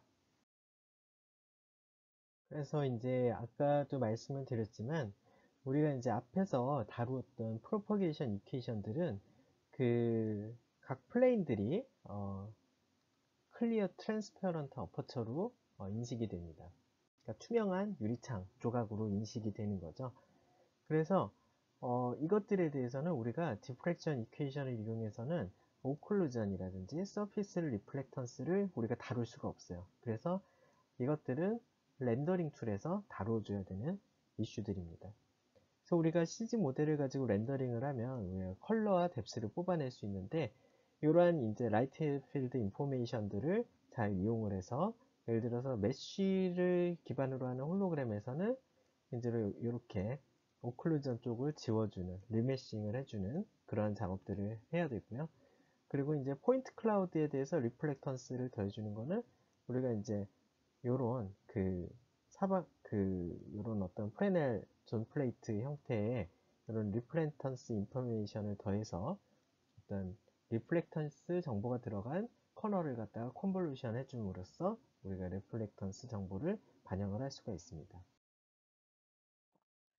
그래서 렌더링을 할 때 우리가 이제 그 어, 이게 결국에는 3차원 디스플레이와 비슷한 형태로 이제 렌더링을 해주게 되는데요.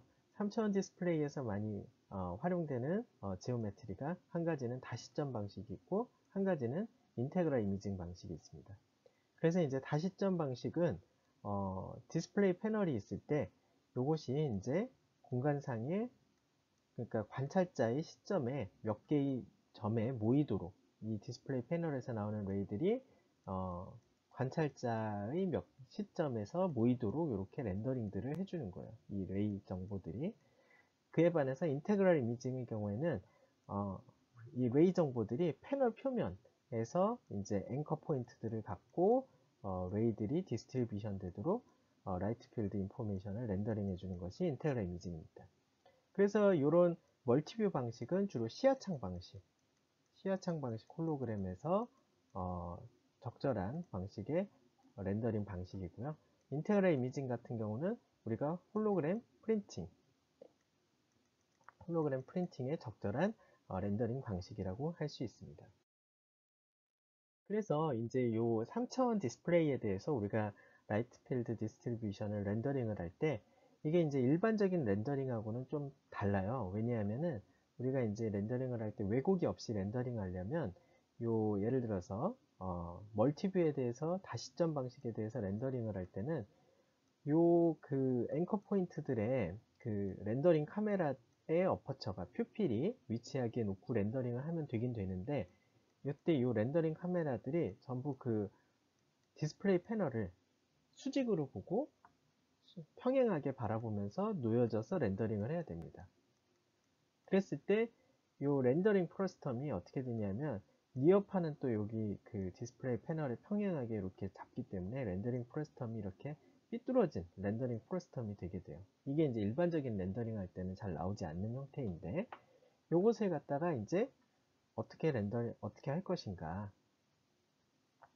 그런데 이제 우리가 이제 그 렌더링 할 때 카메라 파라미터 세팅을 할때 어, 주요 정보 중에 주요 정보들이 렌더링 frustum의 left right 그리고 top bottom 그리고 near 그리고 니어와 파 요거를 가지고 이제 카메라 파라미터를 렌더링 frustum을 정의를 합니다. 그래서 그 정보들을 잘 바꿔주면은 어, 우리가 multiview에 대해서 렌더링을 할 수가 있는데 그거에 대해서 조금 뒤에서 설명을 할 거고요. 그 다음에 이제 integral imaging 방식에 대해서 light field distribution을 어떻게 렌더링을 할 것인가? 이게 이제 약간 좀 어, 그 고려할 게 많은 사항인데 왜냐하면은 우리가 이제 디스플레이 패널이 있을 때 디스플레이 패널에 만약에 우리가 렌더링하고자 하는 대상 물체가 다 앞에 있다. 그러면은 이제 렌더링 frustum을 이런 식으로 anchor point들의 각 anchor point들의 렌더링 카메라들을 위치시키고 렌더링 frustum을 이런 식으로 잡아가지고 렌더링 하면 돼요 또 만약에 우리가 어, 렌더링 하고자 하는 물체가 전부 패널 뒤에 있다 그럼 또 anchor point들에다가 렌더링 카메라들을 위치시키고 렌더링 frustum을 이렇게 잡아가지고 어, 렌더링 하면 됩니다. 근데 문제는 이제 이 물체가 그 디스플레이 패널에 걸쳐 있을 때가 이제 문제예요. 이때는 어떻게 렌더링을 해야 되냐? 뭐 예를 들면 그냥 생각해 보면 어 이렇게 anchor point에 렌더링 카메라를 놓고서 어, near far를 앞뒤로 이렇게 잡아서 두 번 렌더링 하면 되지 않나 이렇게 생각할 수도 있는데 이 near를 갖다가 그러면은 이제 빵으로 잡아야 되는 거죠. 카메라 pupil에 딱 맞게 잡아야 되는데 그런 식으로는 렌더링이 잘 되지 않습니다. 그래서 요거를 렌더링 할 때는 어, 요 anchor point들의 anchor point들을 무한대에 있다고 생각하고 이제 orthographic 카메라를 가지고 렌더링을 해야 돼요. 이제 이런 perspective 카메라가 아니고 근데 이때 이제 예를 들어서 어, 이런 평행한 ray들을 모아가지고 이런 방향의 orthographic 카메라로 렌더링을 해주고 또 그 옆에 ray들을 그 다음 각도의 ray들을 또 모아서 이런 모양의 렌더링 frustum을 갖는 orthographic 카메라로 렌더링하고 또 그 다음 각도를 갖는 ray들을 모아서 또 이런 형태의 렌더링 frustum을 갖는 orthographic 카메라를 이용해서 렌더링을 하고 그런 식으로 렌더, 링을한 다음에 이 light field information들을 다 모아서 다시 재배치를 해주면은 이제 어, 이렇게 패널에 걸친 object들에 대해서 어, light field information을 제대로 렌더링 할 수 있습니다. 근데 이때 이 문제가 뭐냐면은 orthographic 카메라에 대해서 이런 삐뚤어진 렌더링 frustum을 결정하는 게 좀 어려운 그래서 이런 것들을 어떻게 결정할 수 있냐 하면은 우리가 렌더링의 과정을 살펴보면 렌더링의 과정이 model view projection matrix라는 세 개의 matrix의 곱으로 어, 렌더링을 하게 됩니다. 그래서 이게 뭐냐면은 어, 우리 CG 모델이 있잖아요. 그럼 CG 모델은 CG 모델 자체가 가지고 있는 좌표 값이 있어요. 그러니까 CG 모델 자체가 자기가 이제 원점을 갖고 CG 모 그 각 mesh의 vertex point들의 좌표를 결정하는 그런 model coordinate이 있는데 이 model coordinate을 어, 일단 우리가 렌더링하고자 하는 세상에 이 CG 모델을 갖다 놓잖아요. 그럼 이 우리가 렌더링 하고자 하는 세상의 world coordinate으로 옮겨줘야 되는데 그때 곱해주는 게 model matrix입니다. 그리고 이 model matrix를 곱해줘서 world coordinate으로 바꿔준 다음에 우리가 또 이제 카메라를 배치해서 렌더링을 할 거잖아요. 그럼 또 카메라 중심으로 본 좌표계로 바꿔야 되는데 그게 camera coordinate이고 camera coordinate으로 바꿔주는 때 곱해주는 게 이제 view matrix입니다. 그리고 이렇게 곱해준 view matrix에 이제 예를 들어서 그 perspective 카메라로 렌더링 하자고 하면은 이런 식의 렌더링 절두체 모양의 렌더링 frustum이 나오게 될 텐데 우리가 렌더링을 할 때는 어, 무조건 projection matrix라는 matrix를 곱해서 어, 렌더링 frustum이 어떤 모양이었든지 간에 어, 마이너스 1부터 1까지. 그러니까 XYZ 방향으로 마이너스 1부터 1까지의 영역을 갖는 그러한 정육면체 모양의 공간으로 이게 homogeneous coordinate이라고 그러는데 이 공간으로 옮겨준 다음에 렌더링을 하게 됩니다. 그래서 결국에는 어떤 렌더링 frustum도 렌더링 하기 전에는 이 공간, 이 공간으로 옮겨서 렌더링을 해주기 때문에 거꾸로 얘기하면은 이 렌더링 frustum의 모양을 결정하는 게 바로 이 projection matrix예요. 이 projection matrix를 보면 어, 우리가 카메 요 절두체 렌더링 frustum이 어떻게 생겼었구나 하는 것을 이제 알 수가 있게 되는 거죠. 그러니까 그 projection matrix를 잘 정의해주면 우리가 원하는 렌더링 frustum으로 어, 개선할 수가 있게 됩니다. 그래서 이제 그 예를 들어서 이제 우리가 보통 그 렌더링 하는 소프트웨어 안에서는 이제 perspective 카메라나 orthographic 카메라 두 가지를 지원하게 되는데 그때 projection matrix의 형태가 perspective 카메라와 orthographic 카메라는 이런 식으로 결정이 되게 됩니다. 이때 그 각 parameter들의 어, 정의는 요 렌더링 frustum에 요 left는 L, right는 R, 그리고 top은 T, 아래는 B, 그리고 니어는 N, 그리고 far는 F 해가지고 그 값들을 가지고 이렇게 잘 계산을 해보면 matrix가 이런 식으로 나오게 됩니다. 우리가 이렇게 삐뚤어진 렌더링 frustum들에 대해서 제가 계산을 해봤는데 이런 식으로 perspective에 대해서는 이런 식으로 그리고 어, orthographic 카메라에 대해서는 이런 식의 matrix를 어, 가지고 계산을 해주면은 우리가 그럼 삐뚤어진 렌더링 frustum에 대해서 어, 우리가 렌더링을 할 수 있고 그래서 우리가 holographic 디스플레이를 위한 light field information을 얻을 수 있다 라고 생각할 수 있습니다 그래서 이제 이런 light field information과 그런 그 어떤 point cloud, mesh 혹은 뭐 depth slice 이미지들의 정보를 조합해서 아까 제가 초반에 말씀드렸다시피 어, surface reflectance 하고 이제 point information하고 이제 만, 섞어서 이제 holographic 어, 이미지를 3D 이미지를 만들어낼 수가 있는데요. 근데 이런 고해상도의 holographic 이미지 홀로그램을 생성하는 데 있어서는 아니 light field information을 뽑아냈으면 그냥 light field information에서 바로 어, 홀로그램을 생성할 수는 없을까 그런 생각을 할 수도 있습니다. 그래서 이제 먼저 그 4D light field라는 개념이 나오게 되는데요. 우리가 이제 light field라는 것을 어 그것은 이제 결국엔 ray들의 집합이기 때문에 ray라는 것은 결국 화살표죠. 화살표. 화살표라는 것은 이제 벡터가 되게 되는데 벡터에 대해서는 원래는 보통은 이제 벡터의 시점 xyz 그거하고 이제 벡터의 시점인 xyz 좌표하고 벡터의 방향 그래서 이쪽 방향 각도, 이쪽 방향 각도에서 이제 각도 두 개. 그래서 이제 총 어, 5차원으로 이제 그 parameterization을 할 수 있습니다. 이런 거를 이제 plenoptic function이라고 하는데 사실 우리가 디스플레이를 위해서는 이런 시점의 정보가 필요가 없어요. 특히 이제 우리가 보고자 하는 어, 대상 물체가 convex hull object인 경우에는 우리가 시점에 대한 정보는 필요 없고 방향에 대한 정보만 중요하기 때문에 광선의 방향과 세기만이 중요하기 때문에 차원을 하나 낮춰서 4D light field로 parameterization 해도 크게 문제가 없습니다.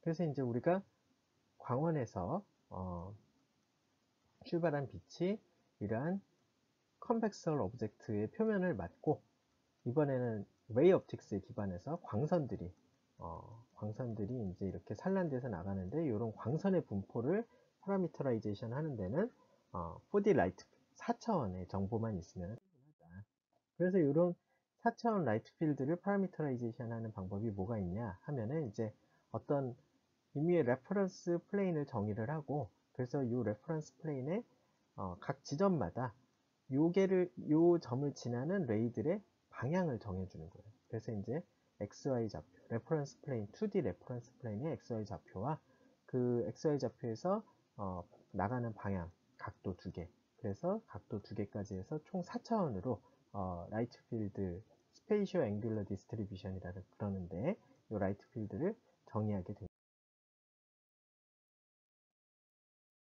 그래서 이런 light field 데이터가 있으면은 우리가 예를 들어 우리가 이제 이걸 가지고 홀로그램을 바로 생성을 할 수 있는 방법이 크게 두 가지가 있는데요. 한 가지는 홀로그램 프린터, holographic 프린터에 딱 맞는 hogel based method라는 방법입니다. 그래서 요거는 이제 아까 제가 말씀을 드렸지만 그 holographic printing을 할 때 그 컨텐츠에 있어서는 우리가 홀로그램이 아니라 어, light field 데이터를 가지고 stereogram을 할 수도 있다고 했잖아요. 그 stereogram의 경우에 이제 결국에는 요 CGH의 각 hogel 면을 각 hogel 부분을 갖다가 어, anchor point로 삼아서 그 anchor point에서 렌더링 된 정보들을 어, 요 안에다가 실어주면 결국에는 integral imaging 같은 방식으로 3차원 영상 정보를 보여주게 됩니다.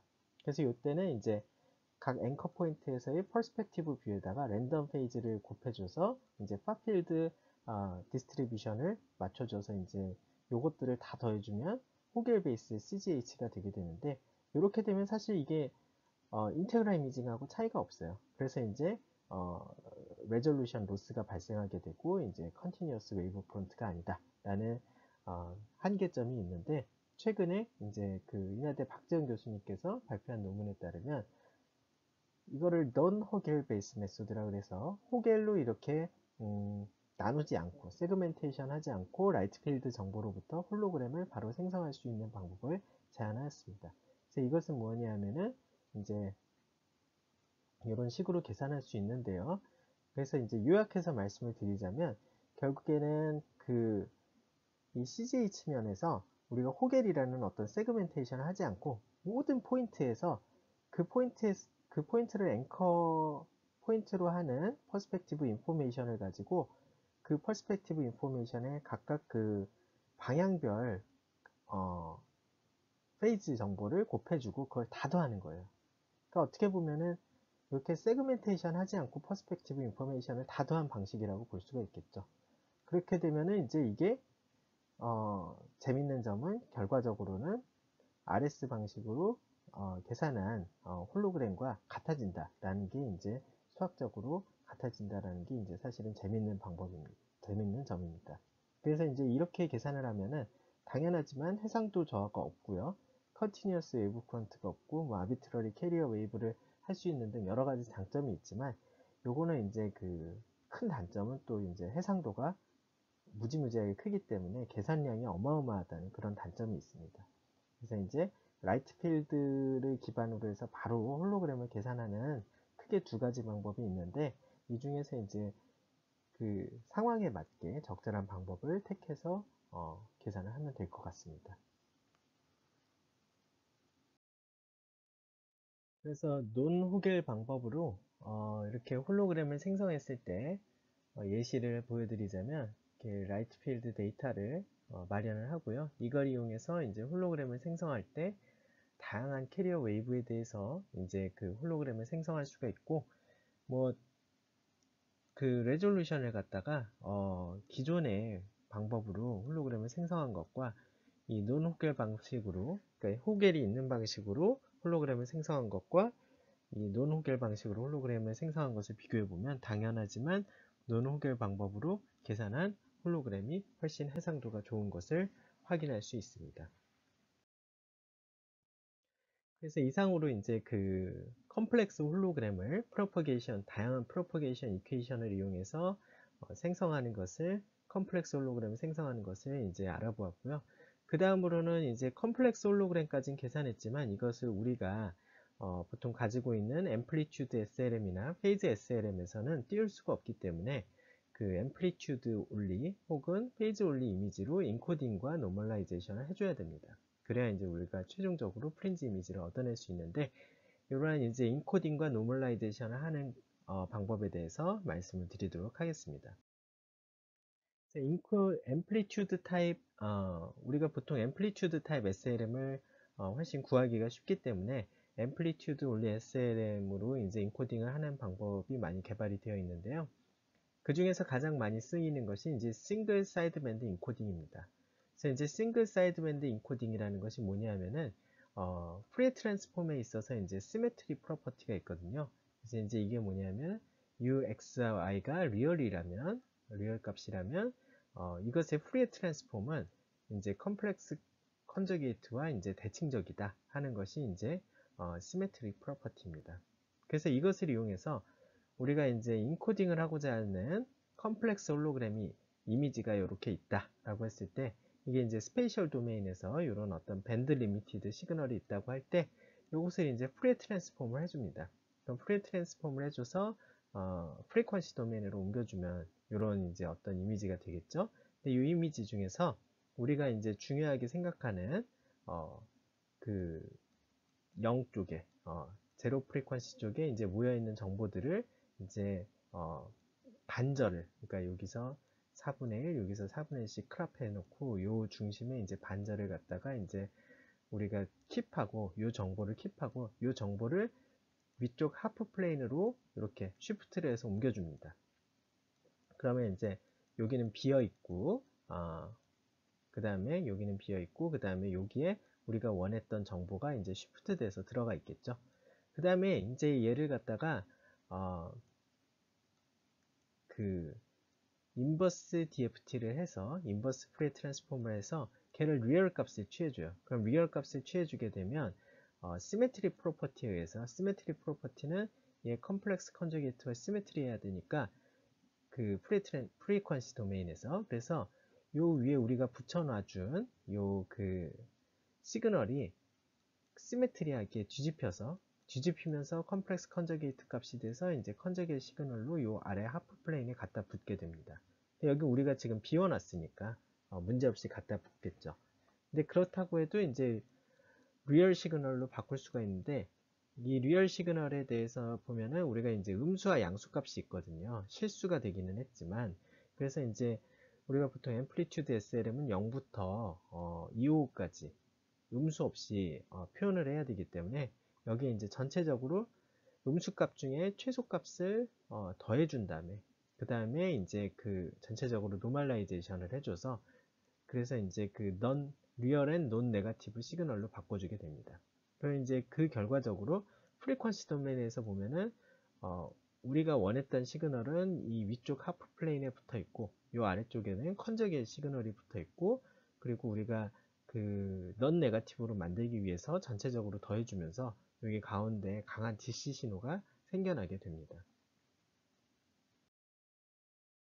근데 그렇게 그 normalization을 해주게 되면 문제가 뭐냐면 어, 전체적으로 어, 원래 음수였던 애가 음수였던 애가 0이 되고 그 다음에 0이었던 애가 한 대략 1, 2, 8 정도 1, 2, 8 정도가 되고 원래 이제 플러스 중에 제일 컸던 애가 이제 2, 5, 5가 되게 이제 보통 normalization을 해주게 되는데 이렇게 되면 전체적으로 이제 회색조가 돼요 이렇게 그 spatial domain에서의 어, 홀로그램이 그러면은 얘가 회색조가 되면은 정말 ideal하게 이론적으로는 사실 우리가 이거를 DC 필터링을 해주면은 어, 뭐 전혀 아무런 이 회색조라는 게 아무런 문제가 없이 그 홀로그램 영상이 재생이 돼야 됩니다. 하지만 이제 실제 상황에서는 우리가 패널이 완벽하지 않기 때문에 어, 이런 회색조 부분들이 이게 이제 예시로 어, 보여주는 건데 이렇게 원래 검은 배경이어야 되는데 이렇게 주변에 어, background noise가 생기게 돼요. 그래서 좀 지저분한 이미지가 되게 됩니다. 그래서 우리가 이렇게 amplitude only 홀로그램으로 encoding을 했을 때에도 어, 이제 주변에 주변에 회색조가 아니고 어, 좀 검은 배경은 검은색으로 갔으면 좋겠다 라는 그런 생각에서 이제 어, 삼성 종교원에서 어, 논문을 발표를 했습니다. 그래서 이것을 어, 아이디어가 무엇이냐면은 우리가 이제 보통 음수 시그널을 살리기 위해서 전체적으로 회색조로 어, 만들어줬는데 그냥 대충 얘기하자면 음수 쪽은 이제 버리자는 겁니다. 그래서 이제 그런 방법이 크게 두 가지가 있는데 하나는 정말 그냥 음수를 완전히 버려버리는 것이고 하나는 이제 뭐 약간은 조금 modulation을 하면서 음수를 버리는 그런 방법인데 그렇게 하면 음수 쪽을 버렸으니까 signal이 손상이 돼서 영상의 품질에 문제를 미치지 않을까 생각을 했는데 이게 또 의외로 이렇게 실험을, 실험을 해보니까 영상에 있어서는 영상 품질에는 그렇게 큰 영향을 미치지 않으면서도 background noise는 제거가 되는 그러한 결과를 얻었다라는 것이 보고가 된 바 있습니다. 그 다음에 이제 또 amplitude type encoding 방법 중에 어, 옛날에 이제 오래전에 어, 발표됐던 방법 중에 하나가 Burckhardt encoding이라는 게 있는데요. 이거는 뭐냐면은 이제 우리가 어, 임의의 컴플렉스 이런 이제 원 위에 있는 컴플렉스 복수 평면에서 이러한 원 위에 있는 임의의 이 원 안에 있는 임의의 어, 벡터들을 요런 그 exponential j 빵 그리고 exponential j 3분의 2파이 그리고 exponential j 3분의 4파이 세 개의 벡터의 어, linear combination으로 무조건 표현할 수 있다 라는 게 있, 어, 표현할 수 있다고 알려져 있어요. 그래서 이제 어, 임의의 복소수를 이제 그 세 개의 linear combination으로 나누는 식이 이건데 그러면은 이거를 갖다가 이제 물리적으로 홀로그램 평면이 이제 있을 때 픽셀들을 3개씩 매크로 픽셀로 묶으면은 요거를 갖다가 이제 Fourier transform 렌즈를 통해서 Fourier transform을 시켰을 때 이쪽 first diffraction order 쪽이 이제 이런 식으로 이런 세 개의 어, basis vector의 합으로 표현을 할 수가 있다라는 것이 이제 어, Burckhardt encoding의 기본 아이디어입니다. 그래서 이것이 어떻게 되냐면은 우리가 이제 그 어, 떤 시그널을 갖다가 그런 세 개의 매크로 픽셀로 어, 묶는 것을 갖다가 이런 어, impulse train과의 곱으로 생각을 할 수가 있어요. 그러니까 impulse train을 예를 들면은 여기 UX라는 시그널이 이렇게 있을 때 이 UX라는 시그널을 어, 원래는 이제 우리가 그 사용하고자 하는 SLM이 요 지금 화살표들이 있는 이 모든 화살표들을 이용해서 샘플링 할 수 있는데 그거를 이제 3개씩 이렇게 3개씩 매크로 픽셀로 묶어 가지고 예를 들어서 빨간색 화살표에 해당하는 impulse train과 그러니까 해상도가 3분의 1로 줄어든 거죠. 그 다음에 파란색 화살표의 모임으로 이루어진 impulse train 그리고 초록색 화살표로 이루어진 impulse train 이렇게 해상도가 3분의 1씩 줄어든 3개의 impulse train과의 곱으로 표현을 할 수가 있습니다. 그렇게 이제 이 시그널을 표현할 수가 있는데 요거를 갖다가 Fourier transform을 했을 때요 각각의 빨간 impulse train 그리고 파란 impulse train 초록색 impulse train이 이쪽 first diffraction order 쪽을 이제 보면은 그 이렇게 한 픽셀씩 한 sub 픽셀씩 밀린 효과 때문에 여기 뒤쪽에 이런 이제 phase factor들이 곱해지게 돼요. 그래서 이제 그 빨간 impulse train으로 샘플링된 시그널과 파란 impulse train으로 샘플링된 시그널 그리고 초록 impulse train으로 샘플링된 시그널들의 어, frequency domain에서의 어, 시그널들을 세 개를 합쳐주면 요 first diffraction order의 합이 요것 더하기 요것의 요 phase factor 더하기 요것의 요 phase factor 이렇게 바뀌게 됩니다. 그래서 이것을 식으로 나타내게 되면 뭐 이런 식으로 표현을 할 수가 있고요. 그래서 이런 것 때문에 이제 아까 Burckhardt encoding에 우리가 이런 exponential j 빵 여기 없지만 exponential j 빵 그리고 요것 요것 이렇게 세 개의 어, 그 basis vector로 임의 컴플렉스 어, 값을 어, 어, linear combi 얘네 셋의 linear combination으로 표현할 수 있다는 것을 생각을 하게 돼. 우리가 이제 그 spatial domain에서 빨간 impulse train에는 빨간 impulse train에는 어, 그 basis vector의 exponential j 빵에 해당하는 값을 실어주고 그 파란 impulse train에는 어, 그 exponential j 3분의 2파이에 해당하는 그 linear combination 계수를 사용해주고 그 다음에 이제 어, 초록색 impulse train에 해당하는 신호에는 이 exponential j 3분의 파이 4파이에 해당하는 그러한 linear combination 계수를 갖다가 실어주게 되면은 얘네들을 Fourier transform 했을 때 여기서 이제 얘네 셋이 합쳐지면서 원했던 시그널이 얻어지게 되는 겁니다.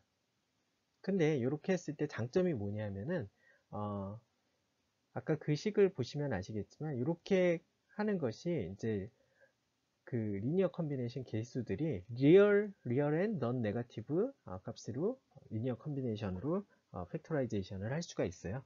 그래서 결과적으로는 얘가 Burckhardt encoding이 어, 3개씩 매크로 픽셀을 묶어서 하기 때문에 single side band encoding은 이제 해상도를 반만 까먹는데 얘는 해상도를 3분의 1로 어, 줄이니까 더 안 좋은 거 아니냐라고 생각하는데 어, 이런 좋은 장점이 있습니다. 그러니까 Burckhardt encoding은 Burckhardt encoding 그 자체가 그 전부 다 이제 real non-negative 시그널로 바꿔주기 때문에 그런 회색조가 없어요. 그러니까 single side band encoding에서는 normalization 하면서 그 회색조가 되는데 그거를 어, practical하게는 문제가 돼서 그걸 없애기 위해서 삼성 종기원 같은 데서는 이제 음수 쪽 시그널을 날려버리는 그런 식의 인코딩 방법을 어, 택하는데 Burckhardt encoding은 이제 인코딩 자체에서 어, 3분의 2만큼의 해상도 손실이 있다는 단점이 있지만 인코딩 그 자체가 전부 real non-negative 시그널로 만들어주기 때문에 이제 normalization을 해도 그런 회색조의 문제가 없다라는 장점이 있습니다.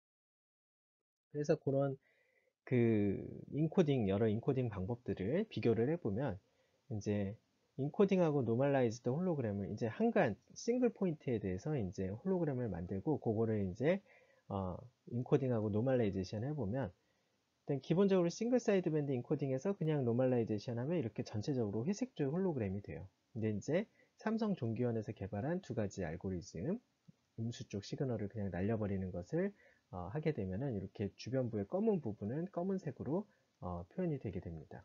근데 이제 버카트 인코딩 같은 경우는 어, 이제 그 기본적으로 인코딩 그 자체에서 꺼, 검은색은 검은색으로 나타나게 되는 대신에 여기 보시면은 표현 가능한 영역이 그 프린지 이미지의 영역이 이 종기원의 이미지들보다 작은 것을 알 수 있죠. 이것이 바로 이제 해상도 손실 때문에 그렇습니다.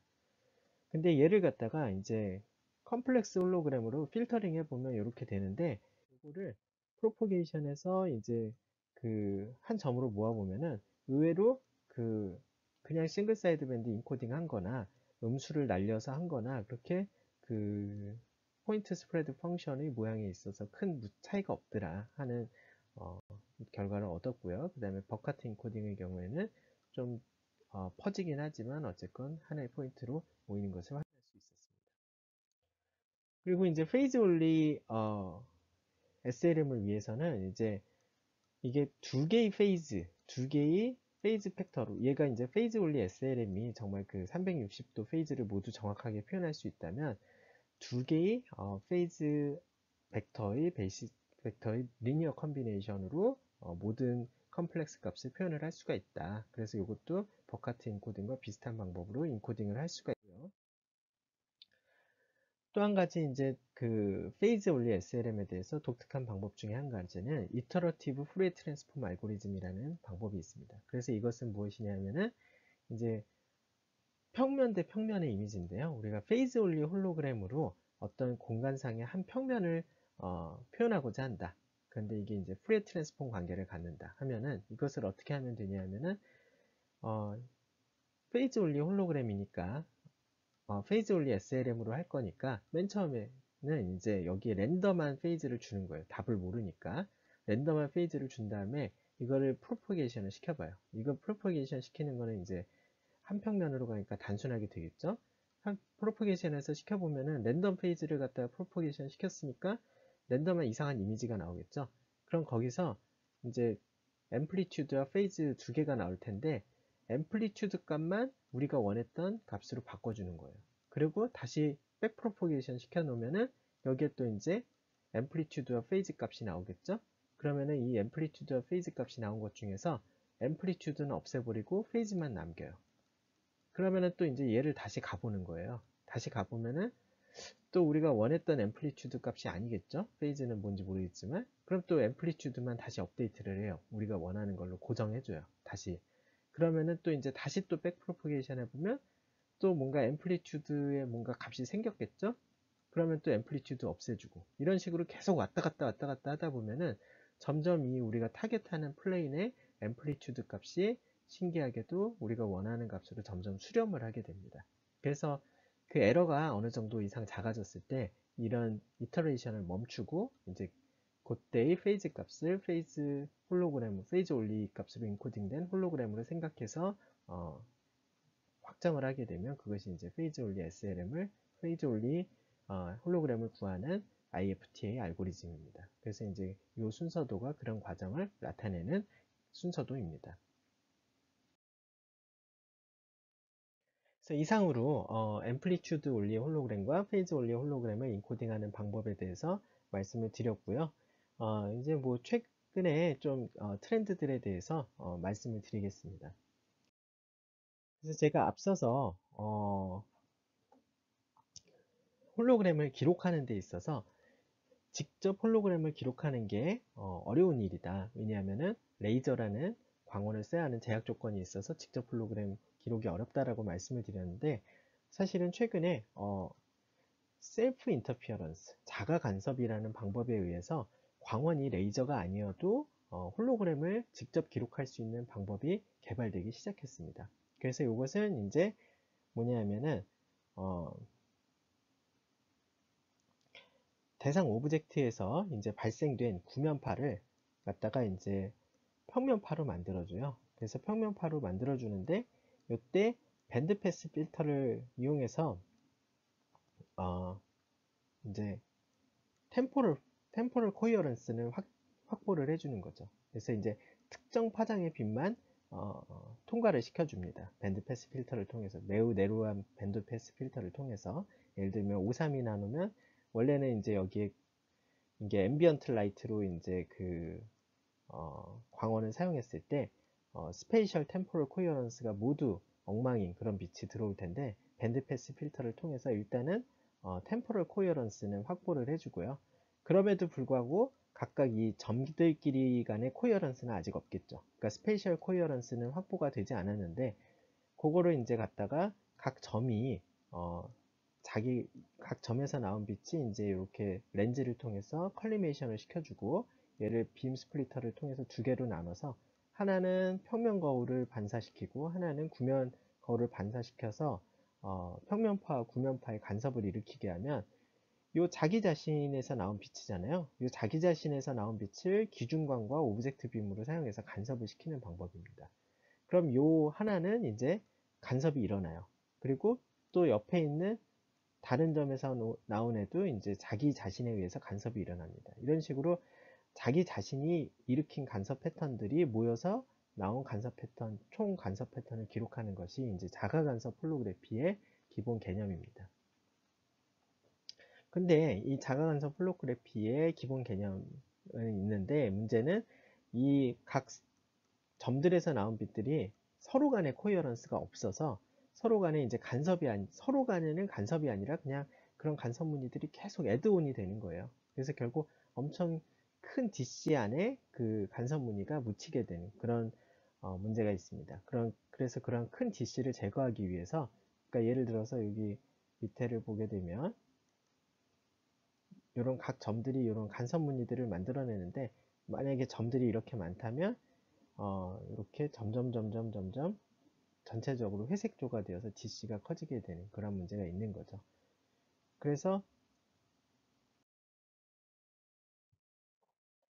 아 그리고 이제 요것을 갖다가 어, 앞서서 본 것처럼 어, 간섭계를 꾸며서 할 수도 있지만 최근에는 또 어, 이렇게 phase SLM을 써서 phase SLM을 어, 하나는 curved mirror, plane mirror를 쓰겠다 해서 이제 phase SLM을 랜덤하게 해상도를 반으로 나눠서 반절의 해상도로는 어, 그 plane mirror로 쓰고 반절의 해상도는 curved mirror를 쓰게 되면 이 하나의 component로 아까는 원래 beam splitter로 나눠서 하나는 plane mirror 하나는 오목 거울을 맞게 했었어야 되는 거를 이제 phase SLM을 이렇게 해상도를 반반 나눠서 combined mirror를 사용하면 하나의 component로 그것을 해결할 수 있게 되는 거죠.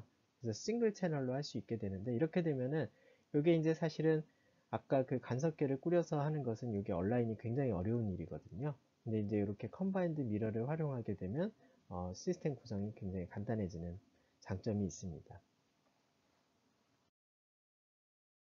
그래서 이제 이러한 어, 방법을 이용해서 우리가 이제 야외 풍경에 대해서도 아까 제가 말씀드렸다시피 야외 풍경에 대해서는 홀로그램을 직접 기록하는 게 불가능하다고 말씀을 드렸잖아요. 근데 어, 야외 풍경에 대해서도 어, 역사상 최초로 2013년에 어, 홀로그램을 기록하는 사례가 발표가 됐었습니다. 그래서 이제 이 기술이 발전이 되면 앞으로는 어, 홀로그램 생성을 어쩌면 이렇게 직접 촬영하는 방식으로 방향으로 갈 수도 있겠다라고 생각하고 있습니다.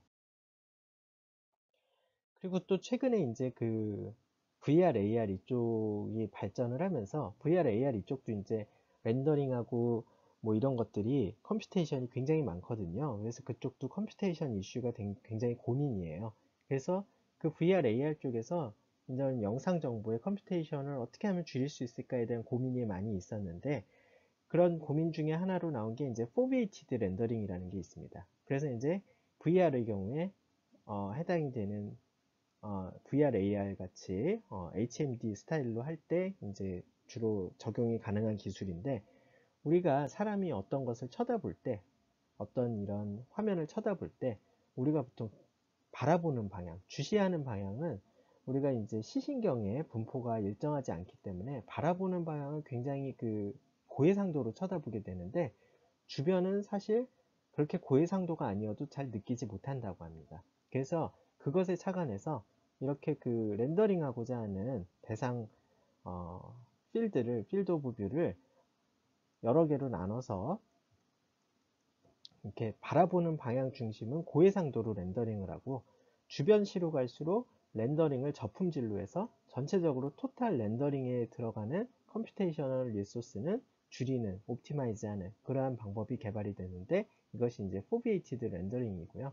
그래서 이러한 foveated 렌더링의 컨셉을 홀로그램에서 쓸 수도 있겠다. 왜냐하면 홀로그램도 이제 뭐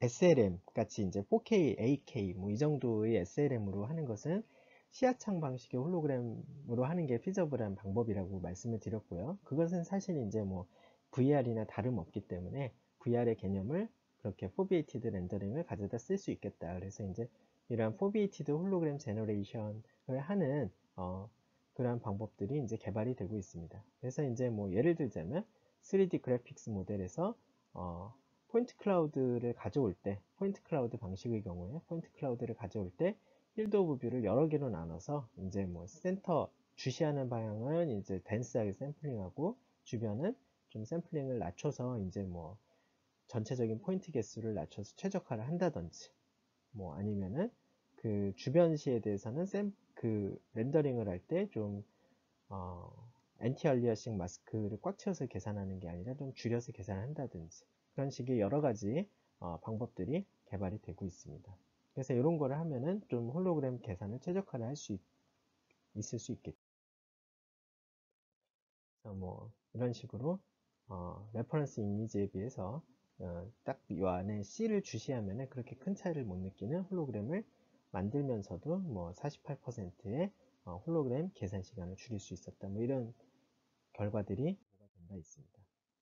그리고 또 최근에는 이제 딥러닝이 굉장히 이슈잖아요. 그래서 이제 딥러닝 기반으로 홀로그램을 생성하는 것도 해볼 수 있겠다. 그래서 이제 뭐 예를 들어서 이제 페이, 이것은 phase SLM에 대해서 어떤 그 plane 이미지를 갖다가 만들어내는 그러니까 phase only 인코딩된 홀로그램을 만들어내는 것인데 이것을 이제 만들어내는 가장 간단한 방법은 아까 말씀드렸던 IFTA, iterative한 방법이죠. iterative한 방법은 이제 iteration 돈을 하고 이제 시간이 많이 걸리잖아요. 근데 이제 이 딥러닝 기반으로 하는 것은 어떻게 하냐면은 여기에 이제 랜덤한 phase들을 이제 랜덤한 phase들을 띄워요. 그러면은 그 랜덤한 phase가 여기에다가 어떤 random한 패턴들을 만들어내겠죠. 그 랜덤한 패턴들이 만들어낸다는 정답들을 가지고 학습을 시키는 겁니다. 요 두 개의 pair를 가지고 아 요런 random한 phase를 넣으면 요런 random한 이미지가 나오는구나 요 pair들을 가지고 이제 어, ResNet을 구성해서 여기를 학습을 시킨 다음에 요걸 가지고 요 deep learning 네트워크를 가지고 홀로그램을 생성을 해봤더니 어, 이렇게 그라운드 어, 여기 이제 이런 타겟 이미지를 만드는 홀로그램을 생성해 봤는데 deep learning을 통해서는 어, 26ms 만에 이런 홀로그램을 만들어내고 그걸 복원해 봤더니 어, 타겟 이미지하고 비슷하게 나왔고 어, IFTA를 돌렸더니 94ms 그러니까 deep learning보다 오래 걸렸는데 어쨌건 뭐 이런 비슷한 타겟 이미지를 만들어냈더라. 그래서 deep learning으로 하니까 어, 더 훨씬 빨리 계산할 수 있었다. 이런 것들이 보고가 된 바 있습니다. 그리고 이제 지금까지 제가 여러 가지 홀로그램 생성에 대한 방법을 말씀드렸는데 그러한 홀로그램 생성을 다 이해하고 그것들을 다 만들어 나간다는 게 사실은 좀 어, 힘든 일이잖아요. 그래서 이제 저희가 진행하고 있는 프로젝트 중에 그런 걸 다 open source로 만들자고 하는 OpenHolo 프로젝트가 있습니다. 그래서 여기에 공식 웹사이트가 있는데요. 여기 들어가 보시면 저희가 이제 올해나 내년쯤에 이제 정식 버전 release를 목표로 베타 버전을 개발하고 있는데 여기에서 이제 GitHub를 통해서 어, GitHub를 통해서 open source를 배포하고 이것은 또 심지어 BSD two clause 라이센스라서 마음대로 가져가서 마음대로 고쳐서 쓰실 수 있는 그러한 오픈 소스입니다. 그리고 관련 온라인 교육도 이제 유튜브 채널로 어, 공개를 하고 있으니까 관심 있으신 분들은 어, 찾아보시면 그래서 이상으로 정리를 하자면 어, CG 모델로부터 전반적으로 이제 제가 말씀드렸던 내용이 CG 모델로부터 홀로그램을 생성하는 것이에요. 그래서 이제 CG 모델에서 우리가 어떤 rendering을 통해서 color depth를 뽑아낸 다음에 이걸로 이제 포인트 클라우드나 뎁스맵이나 트라이앵귤러 메쉬를 만들어서 이걸 complex hologram으로 만든 다음에 이제 amplitude나 phase only encoding을 하는 전반적인 과정에 대해서 말씀을 드렸고요. 혹은 뭐 light field를 가지고 바로 complex hologram을 뽑아낼 수도 있는데 이제 요것을 이제 직접 홀로그램 기록이 어렵기 때문에 이렇게 했던 거고 최근에는 그런 self interference 자가 간섭에 의해서 어, direct로 홀로그램을 기록할 수 있는 방법도 제안이 되고 있다 하는 것으로 하는 게 이제 뭐 최근의 트렌드다 하는 것을 말씀을 드렸습니다. 그래서 이상으로 summary를 마치고 이제 질문이 있으시면은 뭐 지금 네이버 카페 게시판에 질문을 올리셔도 되고 혹은 뭐 제 이메일 주소로 질문을 보내주셔도 될 것 같습니다. 지금까지 긴 시간 시청해 주셔서 감사합니다.